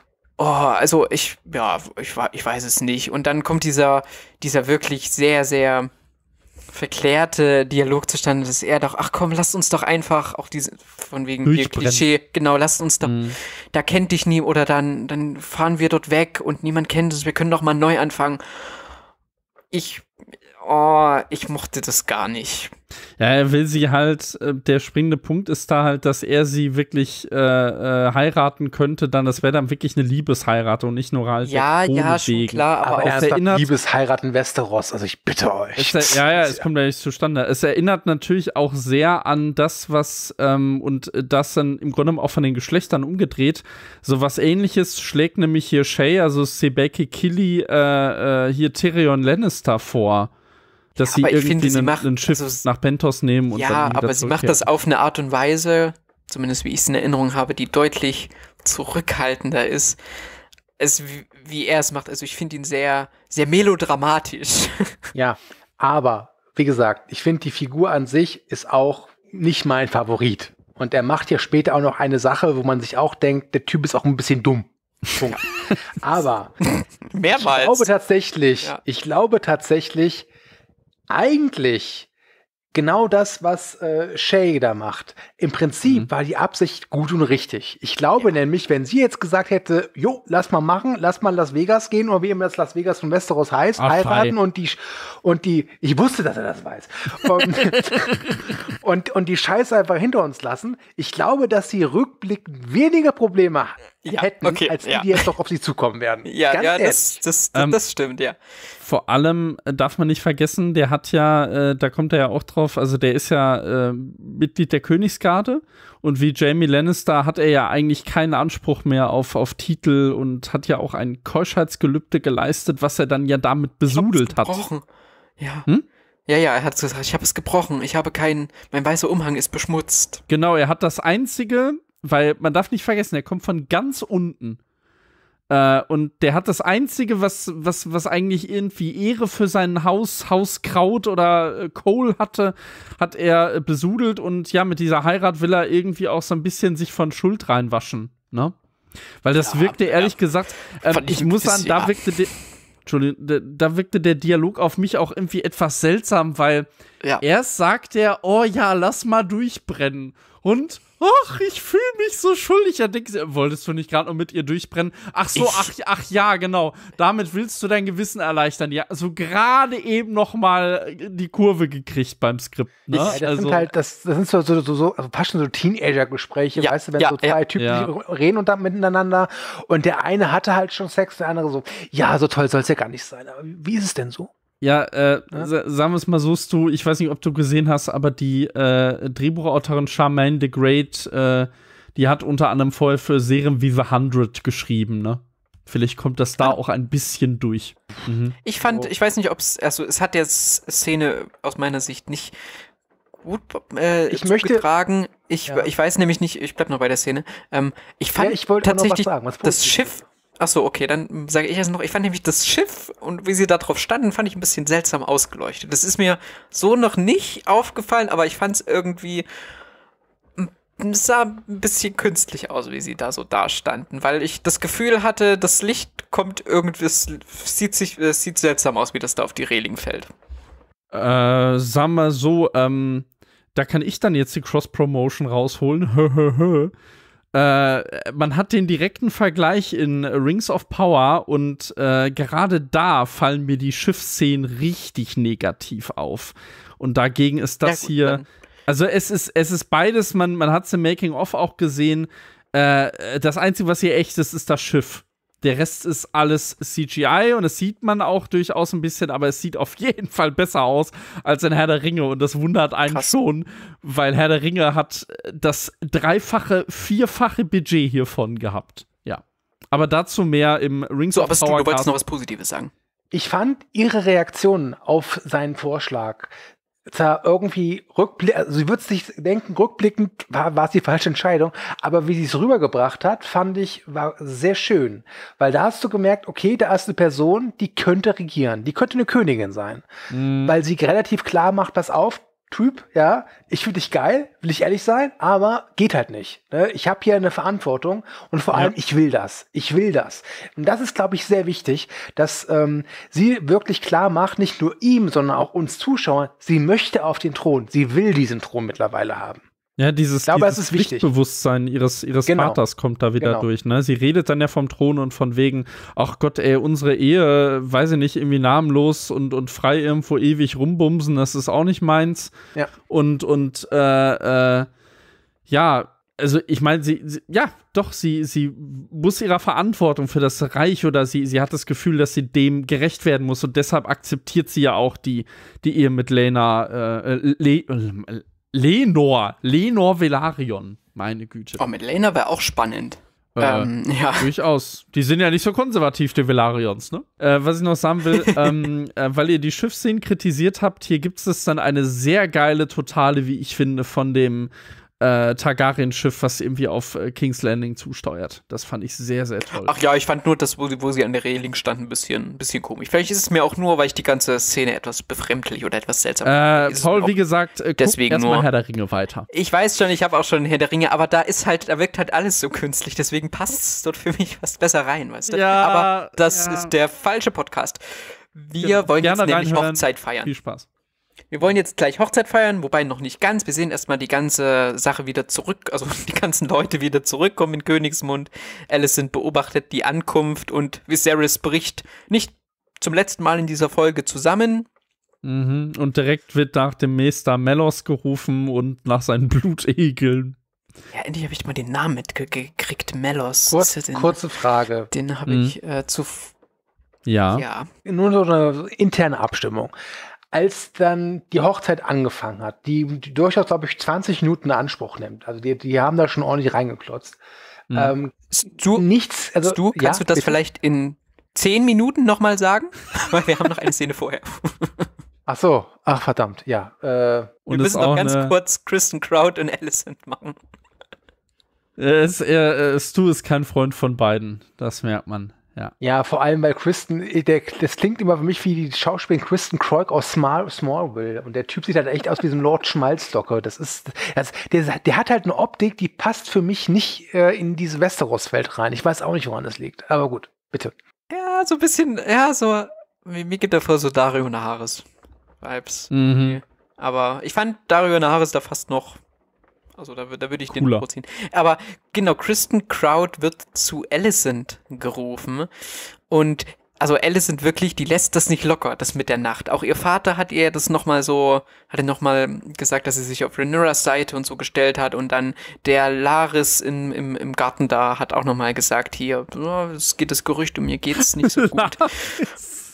ja. Das klingt halt wirklich wie Wahres auf Wish bestellt. Ja, und, und Alicent will das äh, herausfinden und also sie macht es auch ganz geschickt. Sie, also sie bittet ihn zu ihm, dann bietet sie ihm so einen Platz neben sich an, so, und dann steht sie aber auch schnell auf und sagt, also ich finde, also sie, sie versucht auch so ein bisschen herumzureden. Sie, Und sie wirkt überhaupt nicht autoritär. Das muss nee, genau. Und Bei der das find ich vergesse ich immer wieder, dass die die Königin ist. Ja, ja, das Ja. stimmt, ja. Und äh, da hat sie sich für mich wirklich wie eine Figur angefühlt und nicht wie ein Spielstein. Also da stand sie mal nicht so im Hintergrund oder hat sie so, weil sie da ein bisschen gelöster, unsicherer und so war. Und sie stammelt da so ein bisschen rum. Sie benennt auch keine richtigen, also sie sagt, was ist, also na, da, wo, wo Dame und, und was ist so und, und Kristen. Ach ja, es gibt ja mal jugendlichen Leichtsinn, ne? Ja, ja. Ey, ganz ehrlich, ich, ich, ich habe gelacht. Ich habe wirklich gelacht. Ja. Ja, das war der zweite Punkt, wo ich, wo ich wirklich, da habe ich auch wirklich, weil es hatte, es hatte für mich Sitcom-Vibes. So, so ein Missverständnis, weil ich habe doch, sie wollte doch gar nicht darauf hinaus, oder? Sie wollte doch auf Damon hinaus, oder? Ja, sie wollte auf moralische Verfehlungen hinaus, die es gegeben hätte. Ja, aber also Und- auf mich, auf mich wirkt es so, als wolle sie auf das, also ob er in der Nacht was beobachtet hat mit Damon zusammen. Und ich hätte nicht gedacht, dass sie darauf hinaus will oder dass er was gehört hat, dass sie, dass die beiden da anmalen und Kristen sofort so, ja, okay, ich gestehe es. Ich, ich hab, ich hab's getan. Und ich war so, Ja, der wusste ja, der wusste ja auch nicht, was, was, Eben, was der wusste gemeint das ist, von wobei ich Damon mir dann schon und- die, Rhaenyra nicht. wo, ja genau, wo ich mir schon die Frage stelle, äh, das dürften doch sämtliche Spatzen auch ohne Otto Hightower von den Dächern pfeifen. Jetzt hast du, jetzt hast du selber Spatzen gesagt. Das, das war nämlich Ja, ein ja. Fehler, den wir. Ja, Spatzen kleinen- im übertragenen Sinne. Ja, die dann, kleinen dann, dann kleine genau. Vögelchen, das sind auch Spatzen. Ich meine, das, das dürfte doch das Stadtgespräch sein. Das, Ja, das ist ja der gedacht- Skandal schlechthin gewesen. Und ich dachte, sie will halt, sie will halt durch ihn nochmal so ein bisschen Gewissheit über die andere Situation. Aber dass er das dann halt über sich auspackt, das habe ich gedacht, okay, darauf wollte sie vielleicht gar nicht hinaus. Ich weiß nicht, du, wie, wie hast du das verstanden? Ey, ganz ehrlich, die sitzt da und fängt an zu reden. Und ich hatte, also ich glaube schon, dass sie vielleicht ein bisschen was von ihm wissen wollte, mehr zu diesem Damon, als jetzt zu dem, was er jetzt da für sch- schändliche Taten gemacht hat. Und ich meine, sie bohrt ja nicht mal nach. Das ist ja, das ist ja ungefähr Ja. so, als würdest du beim Zahnarzt stammelt, liegen ne? und noch bevor der Zahnarzt das, Zimmer, den, den, das, das Zimmer betritt, sagt dein Zahn, okay, ich bin raus, tschüss.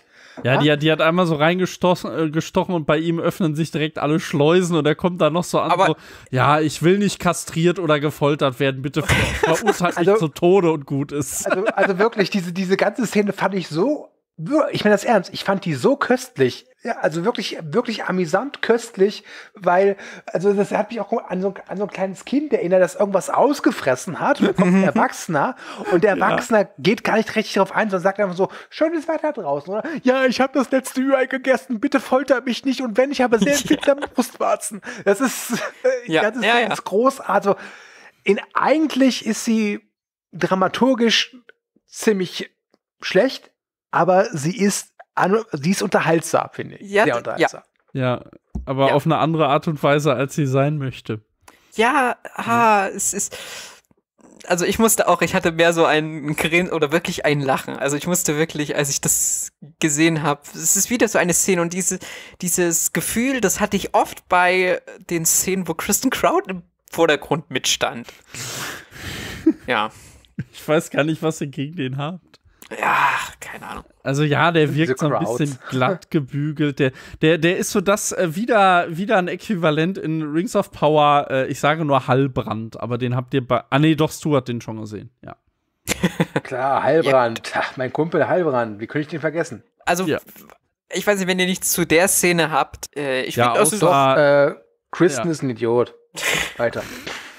Ja. Gut. Dann haben wir, Äh, glaube ich, noch. Äh, Dann kommen wir, äh, genau, dann kommen wir noch zu einer kleinen Szene, äh, wie man nämlich Viserys sieht, der völlig Viserys. fertig, der völlig fertig in seinem Sessel hängt. Also der, äh, er liegt auch nicht ja, im so Bett, sondern abwesend wirkt. er liegt wirklich Ja. in so einem, auf so einem Stuhl, wo ich mir wirklich denke, boah, muss das unbequem sein. Warum, warum liegt ihr nicht irgendwo hin? Warum, warum sitzt Dem ist alles scheißegal. Äh, genau, äh, Lionel Strong bleibt bei ihm zurück. Interessant hier, dass Allison gar nicht bei ihm ist, obwohl sie ja eigentlich immer diejenige war, die ihn da doch ein bisschen fast mütterlich umsorgt hat und die, Ja, die ja, ist ja gerade beschäftigt mit ihren Teenie-Issues da. ja, aber die auch, ja, also die glänzt in dieser Folge so gegenüber Viserys auch des Öfteren mal mit Abwesenheit. Und Das ist durchaus bewusst, habe ich denn. ja, ja, ja, ja, bestimmt. Äh, auch so vielleicht so ein bisschen eine ne Trotzreaktion so von ihr, also so von wegen, Mhm. so, weil sie natürlich äh, ihren Vater schon gern noch an ihrer Seite hätte. Auch da wieder ein schönes Bild, wie ich finde, wenn man da von vorne drauf blickt, äh, wie er, wie Viserys da schlapp und zerbrechlich in seinem Sessel hängt und hinter ihm türmt sich so das Modell der Stadt auf und erhebt sich quasi, quasi über ihn, was so sein, ja, so, so sein Mhm. Untergang nochmal wirklich in Ja. ein eindrucksvolles Bild rückt. Vor allem, vor allem, das ist ja nicht äh, äh, irgendein Modell, das ist ja auch noch ein Modell von Valyria, ne? Also Untergang, ne? Also mehr Foreboding in der Bildsprache gibt, geht eigentlich nicht. Ja, und dann, dann sagt es auch noch ganz klar, was werden sie über mich sagen, wenn sie die Geschichtbü wenn die Geschichtsbücher geschrieben werden und so weiter. Mhm. Und ach, die, also allein schon wegen, die, wegen dem Bild und wegen dem Setting fand ich diese kleine Szene eigentlich recht, recht nett. Ja, die hatte für mich so einen starken Vibe von, äh, ich, ich glaube, den Film habe ich ja auch, glaube ich, schon mal erwähnt, Gladiator. Äh, da ist ja hier Richard Harris, der den alten Marcus Aurelius spielt und der sitzt dann auch so von wegen, ja, wie werden die Leute in der Zukunft über mich reden? Als den Philosophen, als Ja, gut, das ist ja auch so ein.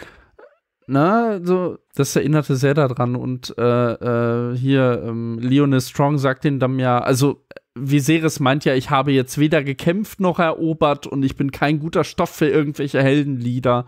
Und äh, Leonis Strong sagt ihm dann, na ja, also äh, äh, Das ist doch gar nicht so schlecht, ne? äh, diejenigen, diejenigen, die in Heldenliedern vorkommen, sind halt meistens tot. Und äh, er hat ja trotzdem irgendwie, also er überlegt ja dann so, und da merkt man, dass es einfach jetzt mit ihm so langsam wirklich stufenweise zu Ende geht. Er überlegt, was hinterlässt er eigentlich der Welt. Und da bleibt dann eigentlich nichts anderes. Also da fällt dann auch Leon Strong nichts großartig anderes an als, ja, ihr habt Jeheres Erbe gewahrt. Das, man, vor allem hört man ja auch raus, dass Viserys tatsächlich auch nie auf einem Schlachtfeld gekämpft hat. Ne? Dazu muss man ja auch wissen, der ist ja in den Büchern, in der Lore, äh, der gilt wirklich als so der, ich sag jetzt mal wirklich Partykönig. Äh, also der, der war ja, der war ja ein bisschen äh, fettleibig durchaus eigentlich in der Lore ähm, und, und hat eigentlich nur irgendwelche Bälle und Turniere und alles Mögliche veranstaltet. Das sehen wir hier aber, aber so dieses, dieses gemütliche, genügsame von dem ist natürlich weg, ne? Ja. Äh, ich hatte das Gefühl, dass, ich sage sehr häufig in diesem Cast, ich hatte das Gefühl, es tut mir leid, ich werde mir versuchen, eine andere Phrase zu überlegen. Ja, du musst gestehen. Mhm. ich habe noch gar nichts gestanden. es wird die ganze Zeit schon so aufgebaut, dass es mit Viserys zu Ende geht, wirklich, also natürlich auch schon so die Folgen zuvor, aber in der Folge wirklich so oft, dass ich mich auch mit in Hinblick auf das Ende frage, warum macht ihr es immer wieder so deutlich oder so in your face? Äh, gut. Jetzt wollen wir mhm. aber erstmal heiraten. Nicht warst du? Oh ja. Nö, jetzt habe ich keine Lust mehr. Oh Mann, jetzt muss ich die Ringe wegpacken. Na gut dann ein andermal, aber wir kommen zumindest. Ich war schon mal Ringe. verlobt, ging nicht gut aus. Wir, Außerdem habt ihr die Ehe eh nicht vollzogen, das ist wir, nicht. Äh, wir kommen zumindest zu der Sequenz. Äh, die Ehe der, für alle für Westeros, bitte. Ja. Zu der, zu der großen Hochzeit und äh, hast du deine einleitenden Worte zu dieser Sequenz, die sich ja dann bis zum Ende des, der Folge zieht? Dekadent. Also das ja. hat die, das hat die Regisseure schon ganz gut hinbekommen, denn da ist halt wirklich Essen und äh, Gesöff im Überfluss. Mhm. Ähm, aber halt eben, wenn man sich in diesem Universum, sage ich mal, ein bisschen auskennt, weiß man, okay, es gab auch Hochzeiten, die gingen gut aus.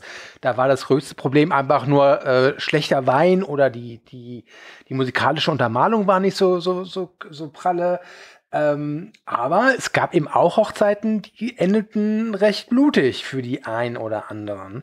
Und deswegen, sobald halt in dieser Welt eine Hochzeit ist und wir sind auch noch als Publikum mit dabei, ist relativ klar so, wird böse enden. Und das tut ja auch diese hier. Wobei es ja ein bisschen dauert. Es ist ja nicht so, dass jetzt 20 Minuten lang nur Massaker auf uns zukommt.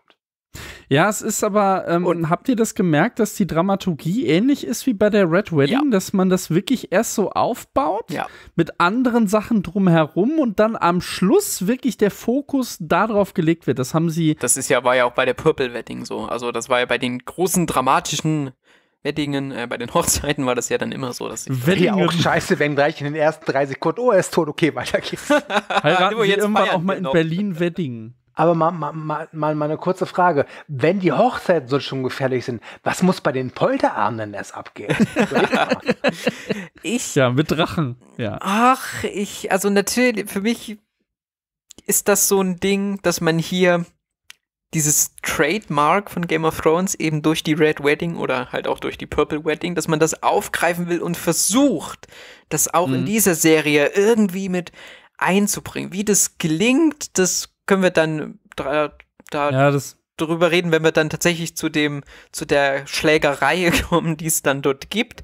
Wir sehen erst eingeleitet durch eine tolle Drachensequenz, wo richtig Power dahinter ist. Also Toll. durch die, ja. auch allgemein äh, durch das House Valerian und so haben wir sehr, sehr viel Trommeln und alles. Also es hat richtig Bums. Was sich dann auch schön, was sich am Anfang, was noch so kraftvoll durch die Trommelschläge ist und sich ja dann zum Ende hin in so Klaviermusik auflöst. Das ist auch sehr schön, wenn man es mal auf musikalischer Ebene betrachtet. Aber zwischendrin wirklich mit Power geht das los, da der Leibwächter, der Harold Westerling, also wir sehen auch die Flotte von den äh, Valerians da und der Harold Westerling, der liest dann dort äh, die Gäste vor, unter anderem, äh, jetzt hätte ich fast Jamie gesagt, nein, Jason Lannister. Herr mhm. über Kastel. Wächter des Westens. Ja, ja. wird dort, wird dort hereingebeten. Herr äh, über Kasterlistein. Und auch äh, Lord Hober, Hober, Hobert, Hobert Hohenturm, also der Bruder von Otto, kommt da auch mit rein. Ähm, kleiner Fun Fact noch zu äh, Jason Lannister. Wir hatten ja den äh, Schauspieler, der hat ja irgendwie ähm, eine Doppelrolle ja. gehabt. Genau, also äh, das waren ja, also das waren tatsächlich Zwillingsbrüder, das kann man noch dazu ergänzen Ah. zu Folge 3. Und was auch sehr geil ist, der Schauspieler war schon mal in Game of Thrones. Also äh, Jefferson Hall heißt der. Hat er schon mal einen Lannister der hat- gespielt? Der sieht irgendwie aus wie ein Lannister. Nee, nee, nee, der hat kein Lannister gespielt, sondern der hat ähm, den Knappen von äh, John Aren gespielt, den dann der Berg äh, äh, in der ersten Staffel beim Turnier tötet, dieser äh, Oh. Sir Hugh vom grünen Tale. Ja, das war der schon. Ja, der hat doch dunkel. Also, man sieht sich immer zweimal. Und hier sieht er irgendwie aus wie Thor, ne? Ja, ja. Also, Hier Ja. sieht er. Und also auch eine kleine Szene, wie er da nach vorne schreitet, sich vor Rhaenyra, also sich davor verbeugt und Rhaenyra auch wirklich demonstrativ die Augen verdreht. Also wurde auch gut äh, äh, draufgehalten und Viser äh, Jason dann auch erst Viserys anspricht, dann so von wegen, oh, eine exzellente Wahl, die er getroffen hat und Rhaenyra da aber ganz ihm zuvorkommt und selber antwortet, dass es keine bessere Wahl gibt. Also das fand ich noch mal das ist aber nochmal schön äh, in die Wunde vielleicht von Jason, weil ja, Jason war ja doch recht angetan. Ja, vor allem, was Vater und Tochter dann da für Blicke tauschen, als er dann geht und vorher dann noch so eine blöde Bemerkung macht. Äh, weil, also der, der will ja irgendwie der Königin, also Alicent, äh, die glänzt ja hier dann beim Fest noch durch Stimmt. Abwesenheit, was irgendwie schon seltsam ist. Aber auch eine Ja. interessante Spiegelung, weil ja bei den anderen Anlässen zumeist immer Rhaenyra gefehlt hat, die dann noch woanders war. Genau, Und Hier jetzt richtig. Alicent, ja. Genau, und, und äh, also der will der Königin die Aufwartung machen und äh, dann heißt es, ja, äh, also Viserys, ja, die, die wird noch zurechtgemacht von ihren Hofdamen oder was auch immer. Und dann macht Jason Lannister so einen richtig schönen äh, äh, Feministenwitz von wegen, ja, also deswegen überlässt man ja Männern auch äh, das Kriegshandwerk ja, und das so alles richtig- Mögliche. Boah, du Trottel, Weil komm, die bitte Frauen, setz dich die jetzt an ja den nie Rand. fertig und kämen aufs Schlachtfeld. Ja, ja, genau. Ja. Bitte, genau, bitte, bitte geben. Ja, dummer. Äh, das wird äh, abrupt, äh, endet sie, wobei es stellt sich ja, ich glaube, es stellt sich noch kurz äh, der Hohen Turm vor. Äh, nein, das ist Herr Gerold Reuss äh, aus dem Grünen Tal. Den hatten wir, ähm, das ist ein Vetter von äh, der verblichenen Rhea Royce. Und äh, am Anfang haben wir den auch gesehen, als die aus, äh, als sie ausgeritten Richtig, ist genau. da. die, begegnet äh, ihm, die begegnet ihm kurz, ja. Genau. Das ist auch noch mal, ja, das wird noch mal kurz wichtig tatsächlich. Ja, aber noch nicht in dem Moment, denn das, das, das kleine Gespräch wird prompt unterbrochen durch den Auftritt der Valerians, die da wirklich. Hatte noch jemand Harry Potter Vibes? Ich hatte so voll hier Harry Potter und der Feuerkelch, wo der die ganzen anderen Schulen da in den großen Festtag, äh, in den großen Festsaal da reinmarschiert kam. Hatte ich jetzt hier Äh. beim Haus Valerian den, äh, äh, die, die, die, Vibes, äh, wie, wie sie da reinmarschieren? Ja, wahrscheinlich nicht. Äh, aber der Auftritt ist, ist auf jeden Fall sehr, sehr eindrucksvoll. Die sind einfach cool. Alle mit ihren weißen Dreadlocks. Äh, ja, das hat schon was. Aber ich bin, ich bin eh, also die, die könnten auch gerne wieder rausmarschieren und dann äh, direkt, ach ja, wir gehen jetzt wieder in unser eigenes Spin-off. Ja, ja, ja, ja, egal, ja, ja, ja, ja, Rain, äh, geht auch ganz demonstrativ natürlich noch auf Laenor zu. Der Blick zu Jason ist auch herrlich. Also wie er da, er denkt sich schon, ah, Mist, da hätte ich jetzt auch stehen. Ja, ja. Ich sag's euch, der Jason macht jetzt eine Karriere als Komiker in Westeros. Kennst du, kennst du, kennst du Frauen, ich sag dir. Und Oh, ja. von dem oh. Geld, sage ich euch, baut er seine Familie auf. Dem Arschschnitt ist zu verdanken, dass die Lannisters später noch richtig erfolgreich werden. Äh, Lannisters, nicht. Doch, Lannisters, oder? Bitte sich. Wo war ich jetzt? Lannisters, ja klar. Ja. gut. Dann kommt's zur ersten Überraschung des Abends, zur ersten größeren Überraschung des Abends. Denn vermutlich als letzter, später kommt ja noch jemand, äh, erscheint Damon. Und Mhm. äh, ja, also es ist sein erster Auftritt in dieser Folge nach seinem Prolog und er setzt sie und also Viserys ist wirklich entsetzt, lässt ihn da aber auch nicht abblitzen, sondern da hat er auch so ein bisschen vielleicht von von Otto gelernt, der ja immer so gesagt hat, hier bewahrt mal hier das Gesicht, ne? Lässt ihm da einen, einen Stuhl am Ende des Mhm. Tisches holen. Äh, du, was du überrascht, dass er da jetzt, dass er da jetzt auftaucht, obwohl er ja in der letzten Folge sehr eindrücklich darum gebeten wurde, doch nicht wieder dahin zurückzukehren. Äh, nee. Also äh, aus zwei Gründen. A, weil er halt ein Arschloch ist und auch ein Arschloch ist, was relativ klar machen will, dass er der Geilste ist, ja, und mutig ist. Und zum anderen fand ich, dass diese Präsenz von diesem hier äh, Lord Das- Gerolsteiner ja. da, dem, ne, das, das, das war halt so inszeniert, so, oh, wer seid ihr? Ja, ich bin der und der. Ich kenne übrigens die und die. genau, die ja gestorben ist. Und deswegen war mir relativ klar, okay, dann muss Damon auch ähm, Ja, ja. Das zieht sich ja auch durch die ganze Folge. ja, und Mit dem, ich, ich, ja. ich hätte auch, Hm. da, da muss ich auch sagen, da, da greife ich mal ein bisschen vor, da war ich auch positiv überrascht, weil ich dann dachte, alles klar, und wir wissen, äh, wie das Blut zur Hochzeit kommt dieses Mal, aber das machen sie ja nicht. Sie, sie spielen ja ein bisschen mit unseren Erwartungen, aber da bleibt ja Damon auch ganz cool. Äh, das fand ich ganz nett.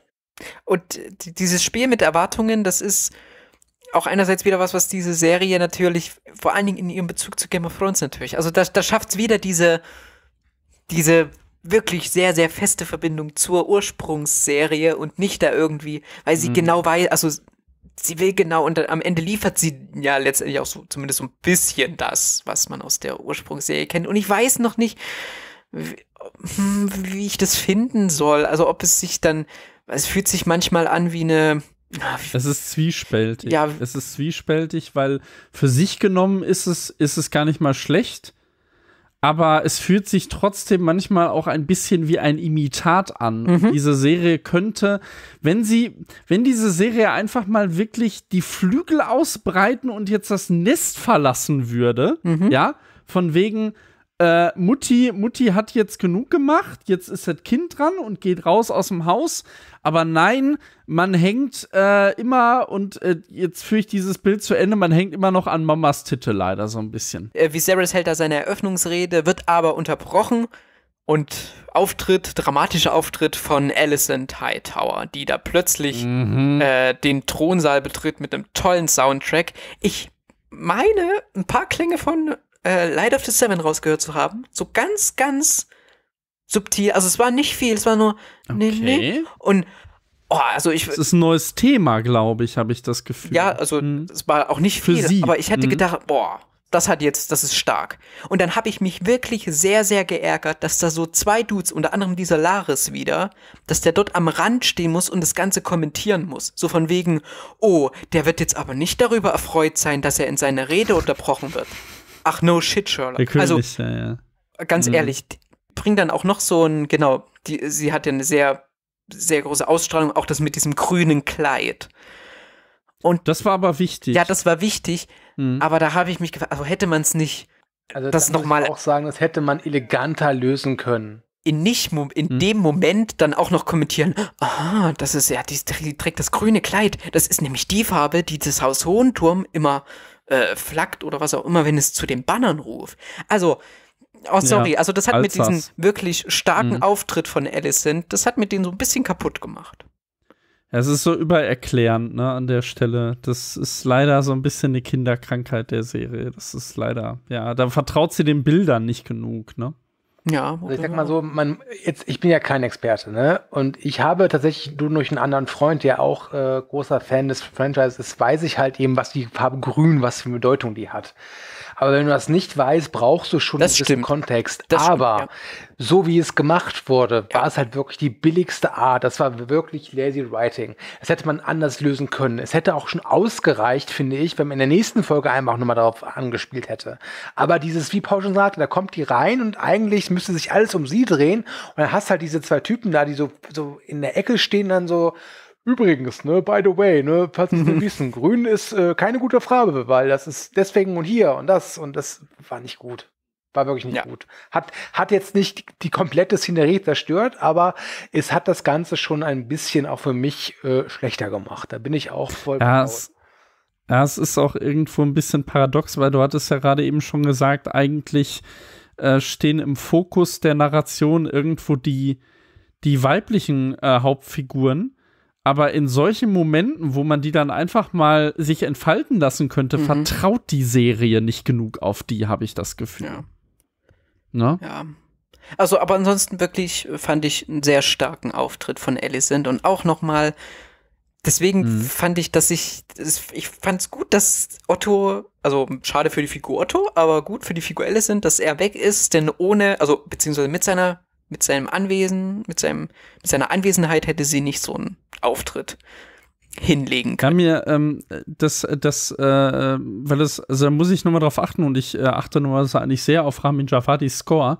Äh, wenn er dann hier jetzt ein neues Thema für sie angespielt hat, das, das, da merkt man dann auch, also da, da, im Grunde bekommt sie hier es wirklich Identität als Charakter. Sie wird hier von der Figur zu einem Charakter, könnte man sagen. Oder auf jeden Fall, das wird eingeleitet. Das finde ich ja eben Ja. Mit, die, mit dieser Folge, äh, weil wir ja die letzten Folgen auch so immer darüber geredet haben, eben wie, wie, wie die Figuren auch abseits wie Ceres und so weiter funktionieren. Also hier finde ich wirklich, hat man einen, einen großen Schritt für Alicent gemacht. Und sie wird ja auch weiterhin dann äh, von Olivia Cook verkörpert auch noch äh, an Bedeutung gewinnen oder zumindest Bedeutung behalten. Freue ich mich drauf. Gut.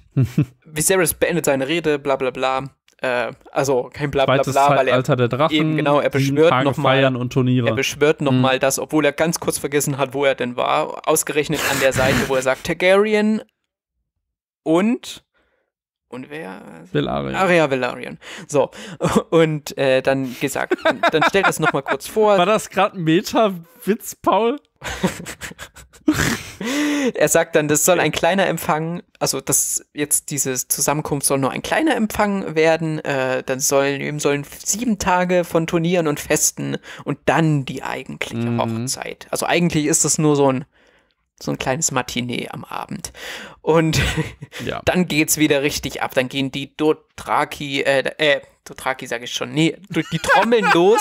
Und da hatte ich wirklich Dothraki-Vibes, weil ich diese Trommelklänge sonst nur von den Dothraki oder so, so richtig kannte. Paul, denk dran, eine, eine Dothraki-Hochzeit mit weniger als zwei, mindestens zwei Toten wird als reizlos empfunden. Ja? Siehst du, äh, hättest du auf dieser Hochzeit das Tanzbein geschwungen? Ich tanze nie. äh, sagen wir es mal so, äh, ich, da läuft auch keine Musik, zu der ich dann, glaube ich, abhotten würde oder könnte. Das Aber es hatte schon, es hatte schon was, was Modernes, oder? Also es hatte nicht diesen, diesen, ach, wir spielen jetzt hier mal was klassisch und dann tanzen wir so, also wie bei anderen Hochzeits, sondern es hatte schon irgendwie so ein, auch wenn ich die Bewegung manchmal ein bisschen komisch, aber ja gut, mein, meine Güte, wenn sie das so einstudiert haben, dann ist das so. Aber aus diesem, aus diesem Geschehen entwickelt sich dann das, was ich ja eigentlich bei diesen Hochzeitssequenzen in Game of Thrones immer so geliebt hat, diese kleinen Gespräche, die da überall am Rand stattfinden und da finden so viele statt. Zum Beispiel geht Alicent zu ihrer Familie oder zu der Familie, die halt da ist, nämlich ihr Onkel äh, und der versichert ihr dann auch äh, Old Town an ihrer Seite. Also sie erhält dann da nochmal so eine Unterstützung. Also Alsace. Genau. Ne, äh, also, er, ja. er, er sagt ja auch so, wir wollten, wir wollten mal nach dir sehen, wie wie es denn, wie es denn um dich steht, nachdem dein Vater jetzt hier weggegangen ist. Und wir haben ja gedacht, du bist ein bisschen eingeknickt, aber nö, du siehst eigentlich ganz gut aus. es gibt auch äh, dann, wie gesagt, diese kurze Auseinandersetzung zwischen äh, Gerald Royce und Damon, der dann auf ihn nochmal zutritt und der dann so ganz Mhm. ja, also der frei heraus sagt, dass er nicht glaubt, dass es ein Unfall war. Wobei ich Ja, mich. der bezichtigt ihn eigentlich fast schon indirekt des Mordes. Ja, wo, also bisschen, wobei ne? ich mich auch, also wie, wie, so er hatte ja wahrscheinlich den Kopf mit dem Stein eingeschlagen oder irgendwas mit dem Stein eingeschlagen. Ja. Ich war, also ich kenne mich jetzt nicht so und die hatten jetzt auch nicht viel Möglichkeiten, aber so jetzt mal Vielleicht war das auch der Grund, warum sie das halt nicht gezeigt haben. Ne? So, Ja. kann man, also ja, ja okay, also ich meine, ne? es ist jetzt, ich habe noch nicht viele Menschen gesehen, die mit dem Kopf auf Steine geflogen sind, aber sehen die dann vielleicht Hm. so aus? Ich Können ja gerne mal bis nächste Woche. Kommt mit dem Alter, Paul, machen. kommt mit dem Alter. Ja, ja. Das, das, Was ich da aber noch sagen möchte zu, zu Damon und hier Lord Gerolsteiner, ist halt, wie, wie suffisant Damon ihm auch Ja. klar macht. Übrigens, ne, war ja Und meine den Spieß Frau. einfach also ich hab umdreht, da- ja, ja. Ich hab da noch ein Erbe, ne? genau, Ach, er richtig. will Runenstein haben. Richtig. Und er, und er erwähnt dann auch, dass er dieses Recht auf, äh, also diesen Erbanspruch auf Runenstein von wegen, ja, wenn hier die Hochzeit über die Bühne ist, dann werde ich Lady Jane auf hohen eher mal meine Aufwartung machen und mein Recht einfordern. Also Lady Jane, da kann man dann davon ausgehen, das ist eine Vorgängerin von äh, äh, äh, Lisa Aren. Mhm. Ja, so ein bisschen. Oh, ja. Äh, ja, also ekelhaft. Ja, keine Ahnung. Ja, wenn man an Lisa Aren denkt, ist es. nee, klar. nee, ich meinte eigentlich Damons Aktion, wie er da. Ach so, wie ja, wirklich- ja, Damon, Damon Oh, und ich finde, also ich finde es ein bisschen schade fast um seine Figur, weil er jetzt hier wieder total so das. Ich habe das Gefühl, äh, Folge zuvor hatte er noch, hatte er noch mehr Facetten. Aber äh, gut, er hat auch Äh, hier was kaum, man er hat dazu- auch hier kaum Auftritt. Ja. Was man dazu anmerken darf, Damon ist, soweit ich weiß, die erklärte Lieblingsfigur von George R. R. Martin selber. Also das ist sein absoluter Lieblingscharakter. Ja, soweit aber dann weiß. gibt ihm mal noch ein bisschen was oder macht ihm mal noch ein bisschen greifbarer so. Oder, ja, keine Ahnung. Äh, Ja, äh, Tendenzen dahin gab es ja, Ja, in der eben. ersten Folge. Ähm, Ja, aber ganz auch in ehrlich, der der, hat halt, zweiten. die, diese Folge hat er halt nichts zu tun. Der erschreckt Ja, ja, einmal genau, ein Pferd deswegen. und sagt am Ende der Folge, er geht erben. Das ist das Einzige, was es zu tun hat. Ja. Also Ja. ich finde auch, dass diese, die, dass die Figur an sich ist gut, nur nicht in dieser Folge, weil sie in dieser Folge nicht viel zu tun hat. Ist okay. Ja, aber der, der muss, ich, äh, das finde ich aber gerade so stark daran, weil Matt Smith muss, muss nicht großartig reden, finde ich. Du, Da reicht Matt die Smith Mimik, da super. reichen die Der schafft es sogar in Morbius gut auszusehen. Also von daher ist es okay. Ja, ja, der ist, äh, man muss mal generell, der ist die perfekte Besetzung eigentlich für diese Rolle. Also da ist auch, äh, man, man hätte ja schon äh, befürchten können, ich meine, Matt Smith ist nun mal wirklich ein bekannter Name äh, und ein bekanntes Gesicht. Und äh, die, ja, die Deviant Arts äh, mit, mit Doctor Who und House of the Dragon gibt es schon, soweit ich weiß. Aber äh, es ist, also man, man hätte hier befürchten können, dass das so sein, sein äh, bekannter Status, dass das die Rolle irgendwie überstrahlt. Stattdessen arbeitet das förmlich für die Rolle großartig. Ja, er hat noch eine kleine Tanzsequenz. Er schleicht sich dann nämlich so auf die Tanzfläche und tanzt dort unter anderem mit Lena. Hat dort einen ganz kurzen. Kleiner Damon Travolta. Und äh, Rhaeny- Rhaenyra und Eleanor eröffnen ja äh, generell den Tanz. Äh, Dann stürmen alle weiß ich anderen nicht. die, die Tanzfläche. Wo ich habe Da gedacht, ist auch eine schöne. ich habe kurz gedacht, ja. da geht schon äh, das Massaker oder irgendwas los, weil sie da alle und dann, ach nee, die wollen nur tanzen. ich hab ja, gedacht, ja, da ja, ja, ja. was das los. ist ja im Grunde eigentlich ein Aber ganz ehrlich, das Hochzeitsklischee. wäre doch super. Die große Tragödie der Hochzeit ist der Moshpit. Es ist, es ist auch einmal eine schöne Anspielung, ähm, als die, äh, also die, die sprechen ja irgendwie, also Re- und Lenor sprechen miteinander, äh, während sie da äh, tanzen und äh, äh, dann sagt irgendwie Rhaenyra, glaube ich, dass sie sowas noch nie getan hat und dann sagt Lenor zu ihr, ja, es ist dem Kämpfen sehr ähnlich. Ja. Also es ist ja auch sehr, sehr kunstvoller, da musste ich auch, ich An- weiß nicht, war das vielleicht sogar ein Verweis auf Aria und ihren Ja. Tanzlehrer? ja, ja, ja, ja? Tanzlehrer, ja, da habe ich auch dran gedacht. Ja. ja. Ja.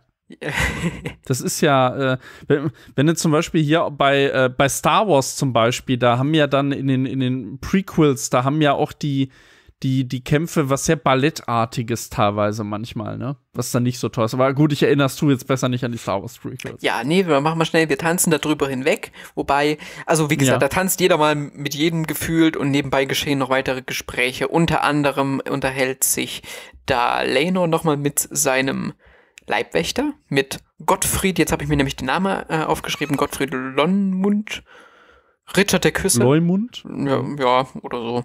Und Ritter der, genau, und äh, der Name ist so albern, ne? Ja. er formuliert das aus, was Rhaenyra schon mal ein bisschen mit den Enten und Gänsen versucht hat, so ein bisschen metaphorisch auszudrücken. Das, das formuliert er ihm jetzt wirklich, also das serviert er ihm jetzt auf dem Silbertablett und sagt, Ähm. hier, guck mal, wir, also Rhaenyra weiß hier von uns, aber guck mal, siehst du den Typen Ja. da drüben?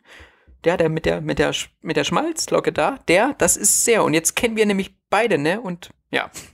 Das ist, das ist ihr äh, Zitat äh, Fotzenknecht. Oh, was? Ähm, Wirklich? Okay, das Ja, na ja, gut. das, das, das, das, sagt der Fo- Fotzenknecht. Äh, übrigens, ich, es tut mir leid, aber ich, ich weiß jetzt genau, woran mich das mit Gänsen und Enten erinnert hat. Es gab doch so eine Szene mit Daenerys in der, äh, in, in einer äh, späteren Staffel von Game of Thrones, wo sie mit Missandei irgendwie über grauer Wurm redet, von wegen, ja, wenn sie die kastrieren, nehmen sie ihnen alles? Was meinst du denn mit alles? Ja, den Pfeiler und die Steine. Ach so. Mhm. Da hat mich das auch dran denken lassen. Das war, das war genauso stümperhaft und peinlich pikiert, was sowas angeht. Ja, aber ja, also, also wirklich, der, der Ritter der Küsse macht es ihm jetzt nochmal deutlich hier, ne? Ja. ja. Das, also das ist eine, eine Win-Win-Situation, oder, ja, also solange es uns alle gibt, ne, dass du, und ihr macht euer Ding und danach können wir halt, können wir das halt machen, was wir wollen. Wenn wir. Ja, so, solange alle Geheimnisse Richtig, bewahrt genau. bleiben, kann uns nichts passieren und wir, wir gehören ja jetzt irgendwo auch zu diesem, diesem äh, Liebesviereck, Ja. könnte man sagen. Ja. Ne? So, Damon tanzt sich inzwischen durch die Reihen und tanzt sich dann irgendwann, bis er mal bei Rhaenyra ankommt. Viserys ist schon ganz, ist schon ein bisschen nervös und zerpflückt da sein, sein, sein Fleisch. Ich weiß nicht, ist es eine Gans, ist es eine Ente? Ich habe es nicht deuten können. Ähm, Wahrscheinlich schon, ja. und ist du, eine sehr heitere Stimmung eigentlich im Raum. ja, aber Viserys ist schon so ein bisschen, der, mm, der guckt schon, wo, wo ist sie jetzt? Was ist, was ist passiert? Und dann, das, ja, ja, der hat immer ein Auge und es kommt sie. ein Dialog zwischen den beiden und dann fand ich es toll, weil ich hatte das Gefühl, da hat's wirklich, ich hatte, da ist es wieder, Hm? äh, da hat das Valyrisch wirklich mal Sinn ergeben, weil sie sich halt so doch eher unter sich unterhalten konnten, als wenn da vielleicht noch links und rechts jemand mithört. Und äh, er ist ja, also er rät ja von der Hochzeit ab, um es so zu nennen, von wegen, oh, das ist ein ehrbarer junger Mann, du wirst dich zu Tode langweilen bei dem. Und sie schmeißt ihm dann, das fand ich sehr gut vom Dialog her, sie schmeißt ihm genau das äh, zurück, was er ihr in der letzten Folge erzählt hat, von wegen, ja, Ehe ist politis politisches Arrangement. Guck doch mal, was ich hier mache. Und dann, und dann fordert sie ihn aber von wegen so, ja, dann, äh, dann nimm doch mich, stell dich der ganzen Königsgarde entgegen, äh, raub mich, bring mich mit, äh, en, en, entführ mich nach Drachenstein und so weiter und so fort. Also da merkt man, sie fordert ihn wieder Ja, raus. ja, sie- ne? Sie ist, ja. Auch Die Szenen zwischen den beiden finde ich sehr interessant tatsächlich. Es ist Ja, immer so ein, die haben so ein was. Kräftemessen. haben was. Und dann im Gegenschnitt dazu kurz den Einschub von dem Ritter der Küsse und Kristen Crowd.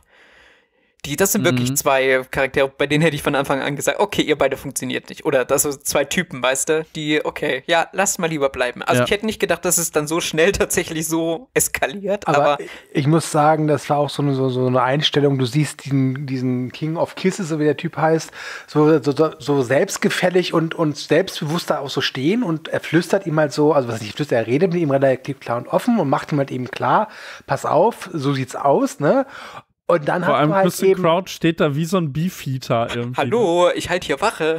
Was ja, willst du? da, da hast du, also Ja. wisst ihr, woran mich dieser Kristen Cole Crowd da erinnert? So ein bisschen? Ja. An die noch dümmere und debilere Variante von Kronk aus Ein Königreich für ein Lama. Also wirklich. also, weil dieser, dieser, dieser, Der dieser, kriegt jetzt seinen eigenen Film. dieser Ja. Kusstyp will ja nichts Böses. Und was er ja macht, ist ja im Prinzip nur so ein bisschen, ich nenne es mal Liebesdiplomatie. Ja. Ne? Ja, ja, Ähm, ja, ja. Und äh, der Typ, dieser, dieser, dieser, dieser, Gottfried. der, dieser, dieser Dummritter steht die ganze Zeit nur da, so, so, was will der von mir? Ich mag ihn nicht. Ja. Und, Geh weg, ich- genau. und es wirkte auf mich auch so, als ob das Gehirn von dem irgendwie was verwechselt hat. So, und so, wie du willst die was? Und dann halt re reagiert er über. Also, Mhm. ja, Ja. er reagiert schon ein wenig über, muss Ja. man auch mal sagen. Wir sehen denn plötzlich, also es ist eigentlich total die festliche Stimmung, wie auch Dom gesagt hat, und plötzlich gibt's Ge- Gekreisch und Gedränge und also also man sieht gar nicht, man sieht das dann so ein bisschen aus der Perspektive von Viserys, der da eben auch schon aufgestanden ist und guckt und man sieht nur diesen Pult und äh, Mhm. du, was war das erste, was du gesagt hast? Also gut, dass es auf irgendwas hinauslaufen wird, dass da irgendwas krasses oder dass da irgendwas Blutiges passieren wird, das war den meisten bewusst. So, aber was war dein erster Gedanke, als du da dieses Getümmel dort gesehen hast? Was hast du gedacht?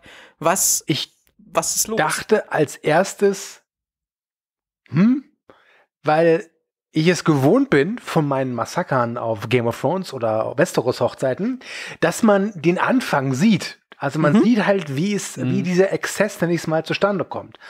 Und jetzt ist es ja so, wir sehen es nicht. Wir werden erst damit visuell optisch konfrontiert, wenn es ja Erwischt. wirklich äh, schon vor dem Gange ist. Und ich Fand ich dachte, gut inszeniert. und ich, Mhm. ich dachte mir so, okay, ähm, Aber was, was bei mir nicht gefruchtet hat, ich dachte eigentlich, dadurch kommt so eine Art Spannung in mir auf. So, wer ist jetzt mit wem aneinander geraten? Aber das war es nicht. Äh, denn plötzlich kommt halt eine Art, kommt ein Schnitt, nachdem es halt dieses Getümmel gibt und hu, hu, hu. Und dann siehst du halt, wie ähm, Lord Dumbatz auf den King of Kisses da rumsitzt und ihm halt immer wieder ins Gesicht schlägt und nicht aufhört. Und äh, ähm, Achtung, Spoiler, der unten liegende überlebt es nicht, beziehungsweise sein Gesicht überlebt Oh. es nicht. Ja. Ähm, Es ist sehr, sehr Immerhin, sehr- immerhin zerdrückt er ihm nicht den Schädel. Ne? also es ist sehr brutal, es ist nicht das Brutalste, was ich in diesem äh, Serienkosmos gesehen habe, aber es ist schon unangenehm. Ja. Ähm, Ja. Aber ich muss sagen, dass ich es von einer, nicht ästhetisch, aber von einer, von einer spannungstechnischen Sicht eher enttäuschend fand. Ich fand, das war, also ja, es kam halt dieses Gewusel und dann, okay, was ist hier los? Das fand Ähm, ich spannend. Also da war ich so, hm, was nee, ist gar los? nicht. Okay, das ja hat gut. mich ka- kalt gelassen und ich muss auch sagen, ähm, es, was mich irritiert hat, ist halt wirklich, die Hochzeit war jetzt groß, aber ich fand, dass dieses Gewusel jetzt nicht danach aussah, als ob da drei Millionen Leute oder für mich auch nur 300 Leute aufeinander rumstehen. Und ich dachte mir, kann der König nicht einfach mal sagen, seinen Männer Leute, geht da mal bitte mal rein und holt den Typen von, von dem anderen Typen runter. Also für mich wirkte es so, und dann bin ich jetzt auch fertig mit meiner Ausla Aussage, ähm, dass der Tod auch ein bisschen schuld ist von den Leuten, die da rumstehen und nichts machen. Also das, das Ja. fand ich ein bisschen seltsam, weil Gaffer. Wirklich. also wirklich, da wird ja nichts gemacht. Da stehen da welche noch mit Selfie-Sticks. Ja, ja. Und selbst also, der König sieht halt irgendwann mal, was da los ist und es dauert ja eine Zeit lang, bis der ja, bis überhaupt Typ irgendwas. ist. Also, ja. Ja, es Ja, ist wirklich ja. so, keiner tut was, selbst der König, der eigentlich locker eingreifen könnte, nach einer gefühlten Ewigkeit gibt der ein Zeichen, dann kommt die Wache und nimmt die Prinzessin halt weg, damit die noch im Hintergrund heiraten kann in Ruhe. Genau, ja? genau. Ähm, äh, muss ich sagen, äh, ich war von der, die Auflösung hat mich nicht überrascht. Ich fand es, äh, vom Spannungsaufbau hat es mich nicht bekommen. Und ansonsten muss ich sagen, also, boah, eher in der unteren Top 3 meiner Westeros-Hochzeit, will ich ganz ehrlich sein. bei dem, bei dem Gewusel hat es mich noch, weil auch, also es war natürlich auch so ein bisschen äh, ein Red Herring, würde ich es fast nennen, dass man, man hat auch Damon und Rhaenyra gar nicht gesehen. Man hat, also ich habe erst gedacht, hä, okay, was, also warum auch immer war meine erste Assoziation, hä, hat Damon Rhaenyra jetzt niedergestochen oder warte, was ist, jetzt, was ist jetzt so krass, dass ihr, dass ihr euch alle aufregt?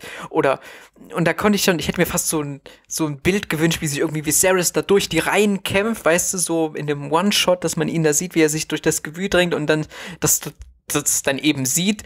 Und dann sieht man halt Kristen Crowd, wie er auf den auf den Ritter der Küsse einprügelt und dann war ich auch so, hä? Äh, okay. Äh, das, das war so, als würde man zwei Puzzleteile Wirkte zusammenfügen so ein bisschen wollen, beliebig, ne? die nicht zusammenpassen. Also Mhm. ich fand es auch von der Figur des Kristen Crowd, also ich hätte ihm das nie zugetraut, erstmal jetzt so, weil ich ihn doch immer ein bisschen, also natürlich hat sich in ihm wahrscheinlich viel aufgestaut, auch jetzt durch das Abblitzen, Anführungszeichen, von Rhaenyra auf dem Schiff. Aber Ja.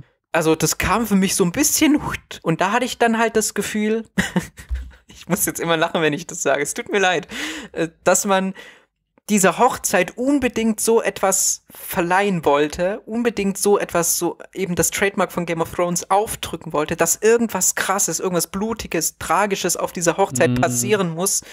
Und dann nimmt man halt das und das fand ich halt als Lösung auch so, so halbgar. Ich, Ja, irgendwie das, ähm, der, der, dieser ganze Aufbau, ähm, das, was dann kommt, das wird dem nicht gerecht. Beziehungsweise es ist zu schnell vorbei und, und irgendwie auch ein bisschen zu, also ich muss sagen, dieses Gewusel hat mich schon gekriegt, auch das, dass man halt zuerst die Reaktion der Leute drumherum hört, ne? Dass man zuerst die, die, die, die Schreie hört und sich dann fragt, äh, was ist denn da los? Ähm, aber die, die Szene selber kann es dann leider nicht einlösen.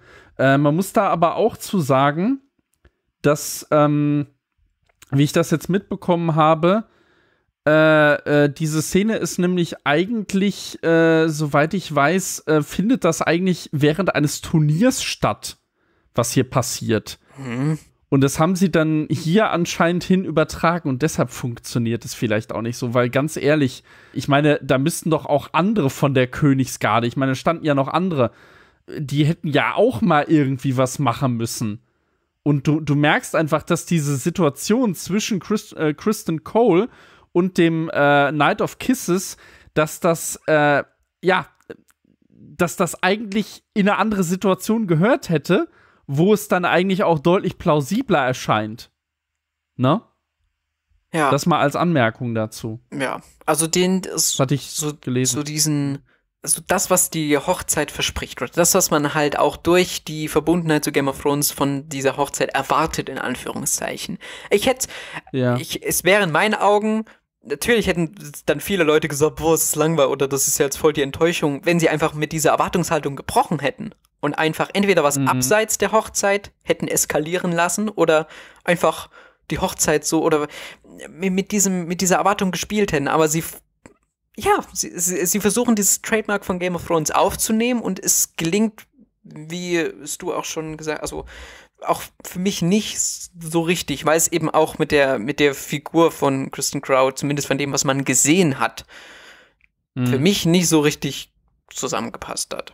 Weil er ja auch Aber immer so ehrenvoll und so war und ja, ich habe jetzt, ich habe Ja, ja. dieses grauenvoll, ich habe mit Rhaenyra, ich habe meinen Eid, ich habe meinen weißen Umhang befleckt oder was weiß ich. Bitte richtet mich Ja. sofort hin oder so und dann, ja, ich, ja. ja, ja. Ich habe Flecken auf meinem Umhang, genau. Und die sind nicht unbedingt von hier ist doch Gesicht. Ähm, aber, äh, nee, aber das, das ähm, also ich glaube, da, da stoßen wir schon so auf so ein Grundproblem der Serie einfach, dass die sich in ihrem Drang, wie Game of Thrones sein zu wollen, an solchen Stellen, gerade wo es um die Trademarks von Game of Thrones geht, die Game of Thrones groß gemacht haben, dass man, indem man da so hinterherhechelt, dass sich die Serie dadurch irgendwie auch ein Stück weit selber im Weg steht, leider. Ne? Mhm. Das ist mir schon öfters Ja. aufgefallen. Und- Und zieht sich äh, vom, vom Vorspann bis hierhin. Wirklich. Und wie ich finde, also ich fand diese Folge eigentlich wirklich, bis dahin fand ich die äh, sehr gut. Mir haben viele kleine Szenen dazwischen gefallen, vor allen Dingen wegen auch äh, für Figuren, die da drin aufgetreten sind. Aber ich finde auch, dass sie den Absprung oder das Ende nicht richtig schafft. Oder da passieren dann noch so viele kleine Dinge, sehr, so viele wichtige Dinge eigentlich, die aber dann in diesem Ausklang, in diesem, in dieser Klaviermusik so, naja, ja, dann noch auslaufen. Weißt du, nach den Hochzeiten hattest du ja normalerweise immer nach dem großen Paukenschlag, hattest du die Ablende. Mhm. So. Ja. ja. Und hier geht es dann noch Es gibt keinen Paukenschlag. es genau, erstmal, es gibt keinen richtigen Paukenschlag. Es gibt eben ja Mhm. diese, diese Auseinandersetzung, die natürlich, also die ja wirklich auch, wie sie aufgebaut ist für Lenor, also wirklich eine Tragödie ist. ja. Und auch ja. wirklich für dieses, und man auch in dieser Szene dann, in der dann sehr traurigen Hochzeitszeremonie, dann auch wirklich Rhaenyras Betroffenheit ja sieht. Und Und Lenor noch mit blutiger Nase auch so ein bisschen. Ne? Also der ist noch. ja, stimmt, äh. Kristen verpasst ihn ja auch eine. Und Genau, das, ich glaube, das war ja auch ursprünglich der Konflikt, wenn ich mich richtig erinnere. Da ist dann, glaube ich, der Night of Kisses zwischengegangen oder sowas, ne? Also könnte man jetzt mutmaßen. Ich meine, das hat man am Anfang es, auch es war, gesehen. wie gesagt, es war ein Gewusel. Ich habe ich hab nur Ja. dieses Bild im Kopf, wo Rhaenyra zur Seite gestoßen wird. Ähm, Mhm. äh, ja, stimmt, das kann auch so sein, dass, dass er erst, ja. Aber äh, ja, ich weiß nicht, bei Cole, bei, bei Kraut muss sich irgendwas wirklich sehr, sehr angestaut haben. Man, man, man darf so nicht vergessen, man darf nicht vergessen, sind, die sind ja beide Leibwächter gewesen. Also im Grunde haben sich hier zwei. Also daran merkst du auch, dass da die dramatische Fallhöhe einfach nicht ist. Äh, das ist einfach halt die große Eskalation, dass sich zwei Leibwächter wegen Eifersüchteleien auf die Fresse hauen. Ja, und es ist ja, also wie gesagt, es ist ja an Das sich. ist zu wenig. Aber naja, also ich finde es ja, Ja. an sich schon. Ich finde, es ist an sich ja schon sehr, sehr tragisch für die einzelnen Figuren, was dort passiert. Aber es, Das schon, aber sie können es nicht so wirklich ausspielen, Ja. auch weil dieser Sir Gottfried irgendwie auch so ein bisschen Kai aus der Kiste hier, hier äh, ja, eingeführt d- wurde. das stimmt. Der ist ja auch, ich weiß nicht, Ja. ob ihr ihn vorher schon mal gesehen habt, der war ja auch hier plötzlich aus dem Nichts. Und es fehlt für mich dann vielleicht auch noch so ein bisschen die Konsequenz. Wir sehen Kristen danach im, in dem, in, in dem Garten wieder stehen, bei Nacht, wie er seine Rüstung, ich weiß nicht, ob er sie ablegt, jedenfalls zieht er sein, sieht er eine Waffe Ja. und will sich dann dort Der will, der will Seppuku begegnen, Ja, genau, äh, begegnen habe ich auch man gedacht. das so schön will nennt. sich dann dort richten, Mhm. aber dann kommt äh, Alicent und hält ihn ab. Und eigentlich hätte ich gedacht, okay, das war's für Kristen Crowd. Ich hatte, also, keine Ahnung, das hätte. hattest die Hoffnung. Das, ja, nicht die Hoffnung, aber es hätte dieser, das hätte noch mal noch eine Tragik da reingebracht, wenn keiner von diesen beiden Leibwächtern das eben überlebt hätte, ja. Mhm. Keiner von den beiden Geliebten aus diesem Liebesviereck. Äh, also man sieht es ja auch nicht, aber wahrscheinlich, weil Kristen Crowd ist ja dann auch später noch in die in weitere Ereignisse verwickelt, also wird er sich wahrscheinlich nicht äh, äh, umbringen. Äh, oder Stu, wie, wie, wie hast du dann dieses, ich nenne es jetzt mal Nachgeplänkel, gar nicht, weil es so unbedeutend ist, aber weil es so fast in so einem Nebenbei oder in dieser Schockstarre passiert. Ja, Ähm, ich fand das ganze Nachspiel, ich nenne es mal einfach Hochzeitsepilog, Mhm. echt fade. Weil ich glaube, ich hätte es besser gefunden, wenn ich halt wirklich in einer Schockstarre gewesen wäre. Aber ich als Zuschauer war Ja. nicht in einer Schockstarre, sondern Ja. dachte mir so, okay, hätten wir das auch abgehakt. So, was ist jetzt Phase? Abgesehen von dem allerletzten Schlussbild, was wirklich schön war, muss ich auch sagen, ich fand, wie du auch sagtest, der Endpunkt war echt auch eigentlich schlecht gesetzt. Das war so, damit hat man diesen Nicht-Impact noch mal ein bisschen mehr genichtet, um es mal so dumm auszudrücken. ähm, dieser, dieser, dieser Selbstmordversuch von ihm, wie gesagt, ich weiß nicht, ob ihr es mitbekommen habt, habt in den letzten paar Minuten, aber ich bin echt kein Fan von dieser Figur. Und bin Was? eher ein bisschen enttäuscht, dass er nicht, äh, weißt du, ganz ehrlich, komm, ma, komm, ist gut. ich, will, ich weiß auch nicht, rein. was man mit seiner Figur noch machen will. Ja, komm, er will auch gesagt hätte, komm, mach es, ne, du wirst in ein paar Jahrhunderten als Influencer wiedergeboren. Das Aber ist okay, das ist, das ist mehr dein Ding. Aber Ich meine, was ist denn jetzt sein. Der hat jetzt so viel. Also, Alicent weiß, dass er mit Rhaenyra geschlafen hat. Er hat jetzt den, den, Leibwächter von, von äh, äh, Laenor getötet. Von- was, was, Ja. was ist denn jetzt. Wird der nicht eh hingerichtet oder wird der nicht eh verbannt oder also er kann doch jetzt nicht da einfach so aus der Sache rauskommen. Ich meine, was, was ist denn jetzt die Alternative? Oder springt da jetzt wirklich Alicent für ihn ein? Wer weiß, aber glaube ich eher nicht. ich habe keine Ähm, Ahnung. Ich Was ich aber noch schon, äh, das ergänzen, Schlimme ist schon, das, Ja. das Schlimme ist, es ist Ja. mir auch ziemlich egal. Ja, leider. Ja, das merke ich schon, ja, ja. Ja, das, das liegt aber daran, dass die, dass die Figuren da einem nicht so nah sind. Also das, deshalb funktioniert auch dieser Höhepunkt nicht. Was mir noch auffiel an der äh, äh, Szene, wo Lenor und äh, Rhaenyra getraut werden, der Septon spricht die Verse, die eigentlich normalerweise die selber sprechen, also halt diese Aufzählung der, der sieben, Mhm. ne? also hier Krieger, Frau, Jungfrau, Fremder und so weiter. Das sagen eigentlich in Game of Thrones zumindest immer diejenigen, äh, äh, die sich dann irgendwie gegenüberstehen und dann da eben verheiratet werden. Und hier sagt es der Septon. Das hatte für mich auch noch mal dahingehend so eine gewisse, äh, ja, irgendwo eine, eine, eine, eine Passivität eigentlich, ne? An der Stelle. Fand ich, fand ich eine ganz nette Nuance. Ähm, und dann können wir noch mal auf das, äh, Stu hat es gerade schon angesprochen, das Schlussbild mit dieser Ratte oder Maus. Mhm. Das haben wir nämlich völlig vergessen in der vierten Folge. Da hat ja Alicent diesen wunderschönen Seestern-Sex mit, äh, mit äh, äh, ihrem Gemahl Viserys. Und dann guckt sie ja so in, in, in, äh, bei ihrem Baldachinbett so nach oben und da hängt so diese, diese Maus oder Ratte oder was auch immer. Und die, die, die betrachtet die so fast sehnsüchtig. Und da habe ich mir dann auch so, also so im Nachhinein habe ich mir gedacht, diese Ratte ist eigentlich freier als sie. Und man muss bedenken, Alicent ist die, das ist die, das ist die mächtigste Frau der sieben Königslande. Das vergisst man immer wieder, dass die die Königin ist. Ich, ich gewöhne mich da einfach nicht dran. Vielleicht ist das auch gewollt, aber ähm, jetzt, also es ist ja kein Zufall, dass das dann mit der Ratte hier wiederkommt. Es ist ja auch wieder Claire Killner auf dem Regiestuhl. Äh, wie habt ihr das denn verstanden, diese Ratte, die in der Blutlache rumschleckt? Ich habe erstmal noch eine, äh, einen Augenblick zuvor, sehen wir ja noch, wie Viserys zusammenbricht. Mhm. Und Ja, aber ganz ehrlich, der ist in der Folge so oft zusammengebrochen, Ja. das ist schon irgendwie. das ist nämlich, ja, das aber ist, er bleibt jetzt liegen. Das ist kein Running Gag, das ist ein Falling Gag so. ganz ehrlich, wenn das so weitergeht, ist es wahrscheinlich so, wenn er jetzt in Folge 6 wirklich auftauchen sollte. Ich habe den Trailer dazu nicht gesehen. Aber wenn er wirklich da auftauchen sollte, dann, dann, wenn er da nicht wirklich nur noch aus Haut und Knochen besteht und nur noch im Bett rumliegt und außer äh, nicht mehr sagen kann, bin ich zufrieden. Aber wenn der noch Vor mehr allem, der machen ist kann, ja nicht einfach nur zusammengebrochen. Der ist richtig, es sah der ist wirklich aus wie eine Sterbeszene. Ja, der ist umgekippt. Ja. Ja, Der er, ist, der ist wirklich umgekippt. Da habe ich mir gedacht, hat er sich jetzt einfach die Birne äh, angeschlagen? Ich meine, das wäre dann auch ein schöner Punkt zum Anfang der Folge.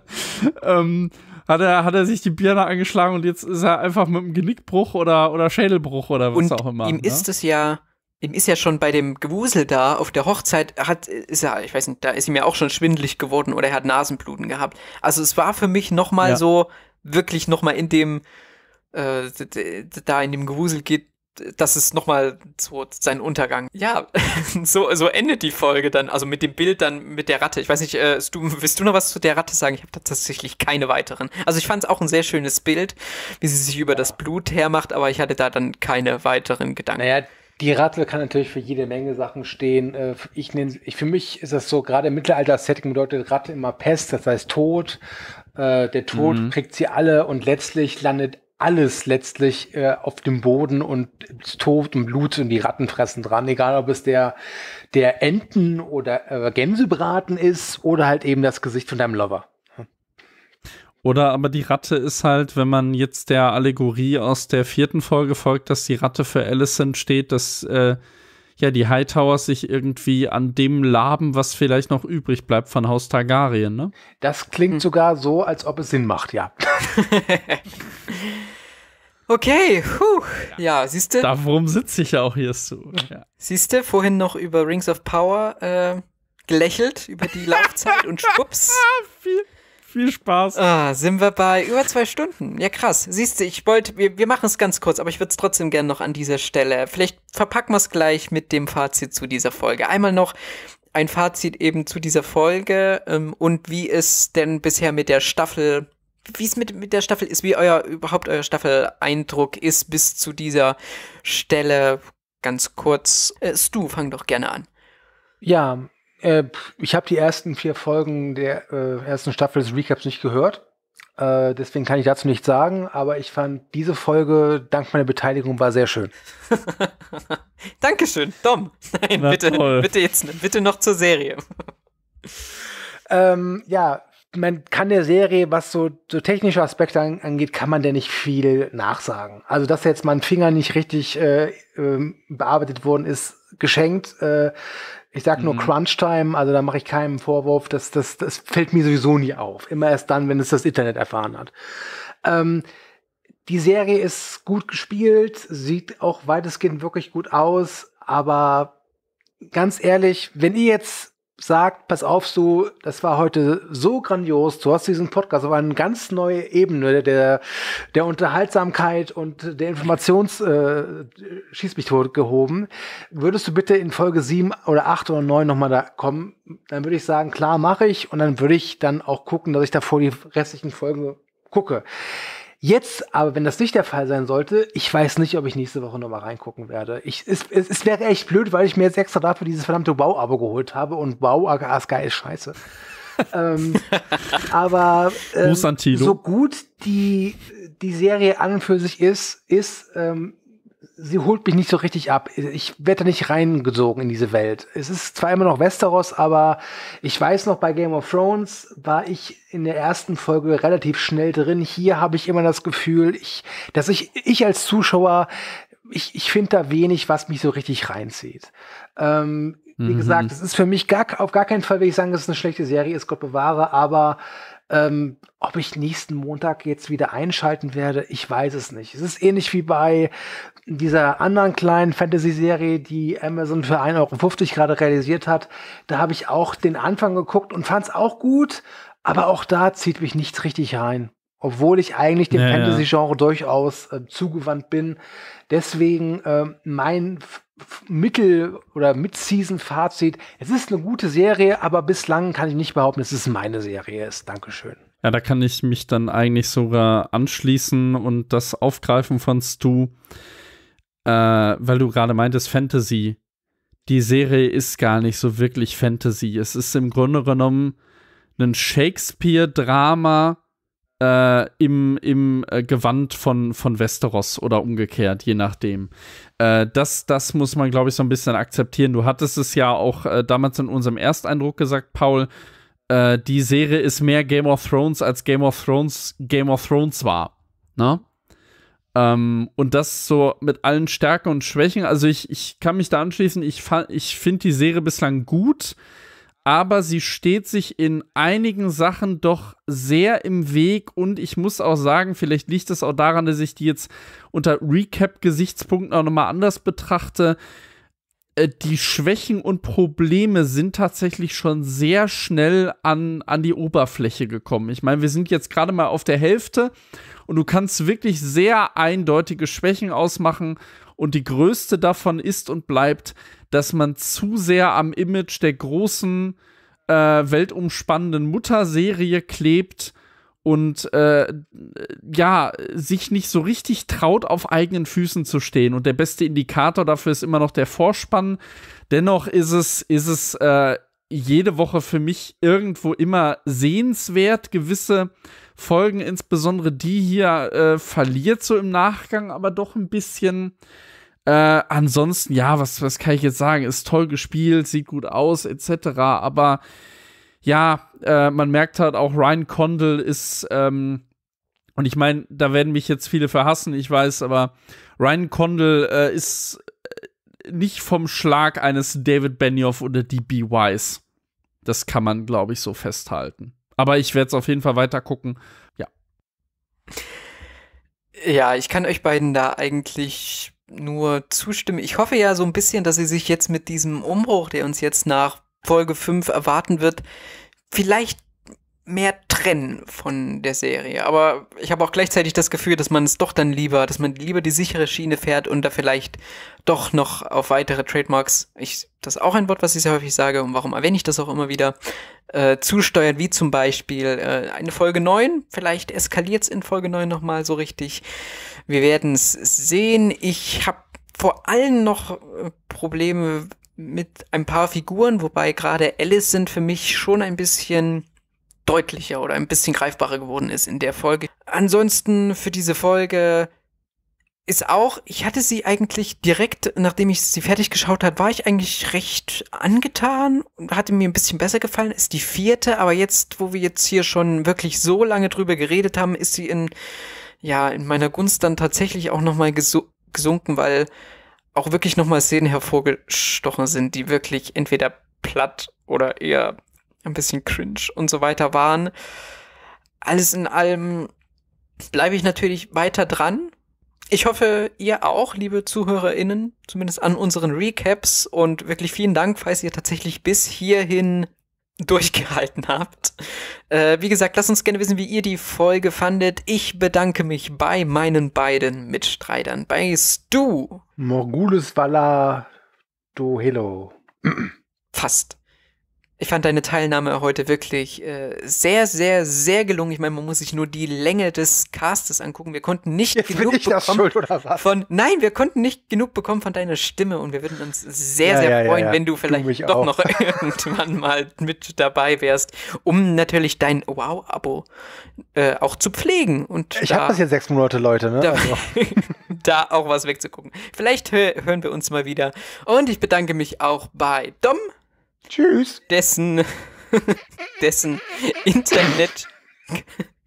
Entschuldigung, äh, liebe Zuhörerin, aber sein Internet ist gerade abgeschmiert. Zumindest hören wir ihn nicht mehr. Äh, falls er nachträglich noch ein Tschüss sagen sollte, äh, dann schneide ich ihn hier noch an die Stelle rein. Wenn nicht, äh, dann hört ihr ihn spätestens nächste Woche wieder. Und damit wir jetzt nicht noch länger werden, äh, würde ich sagen Tschüss äh, und bis zum nächsten Mal. Ciao.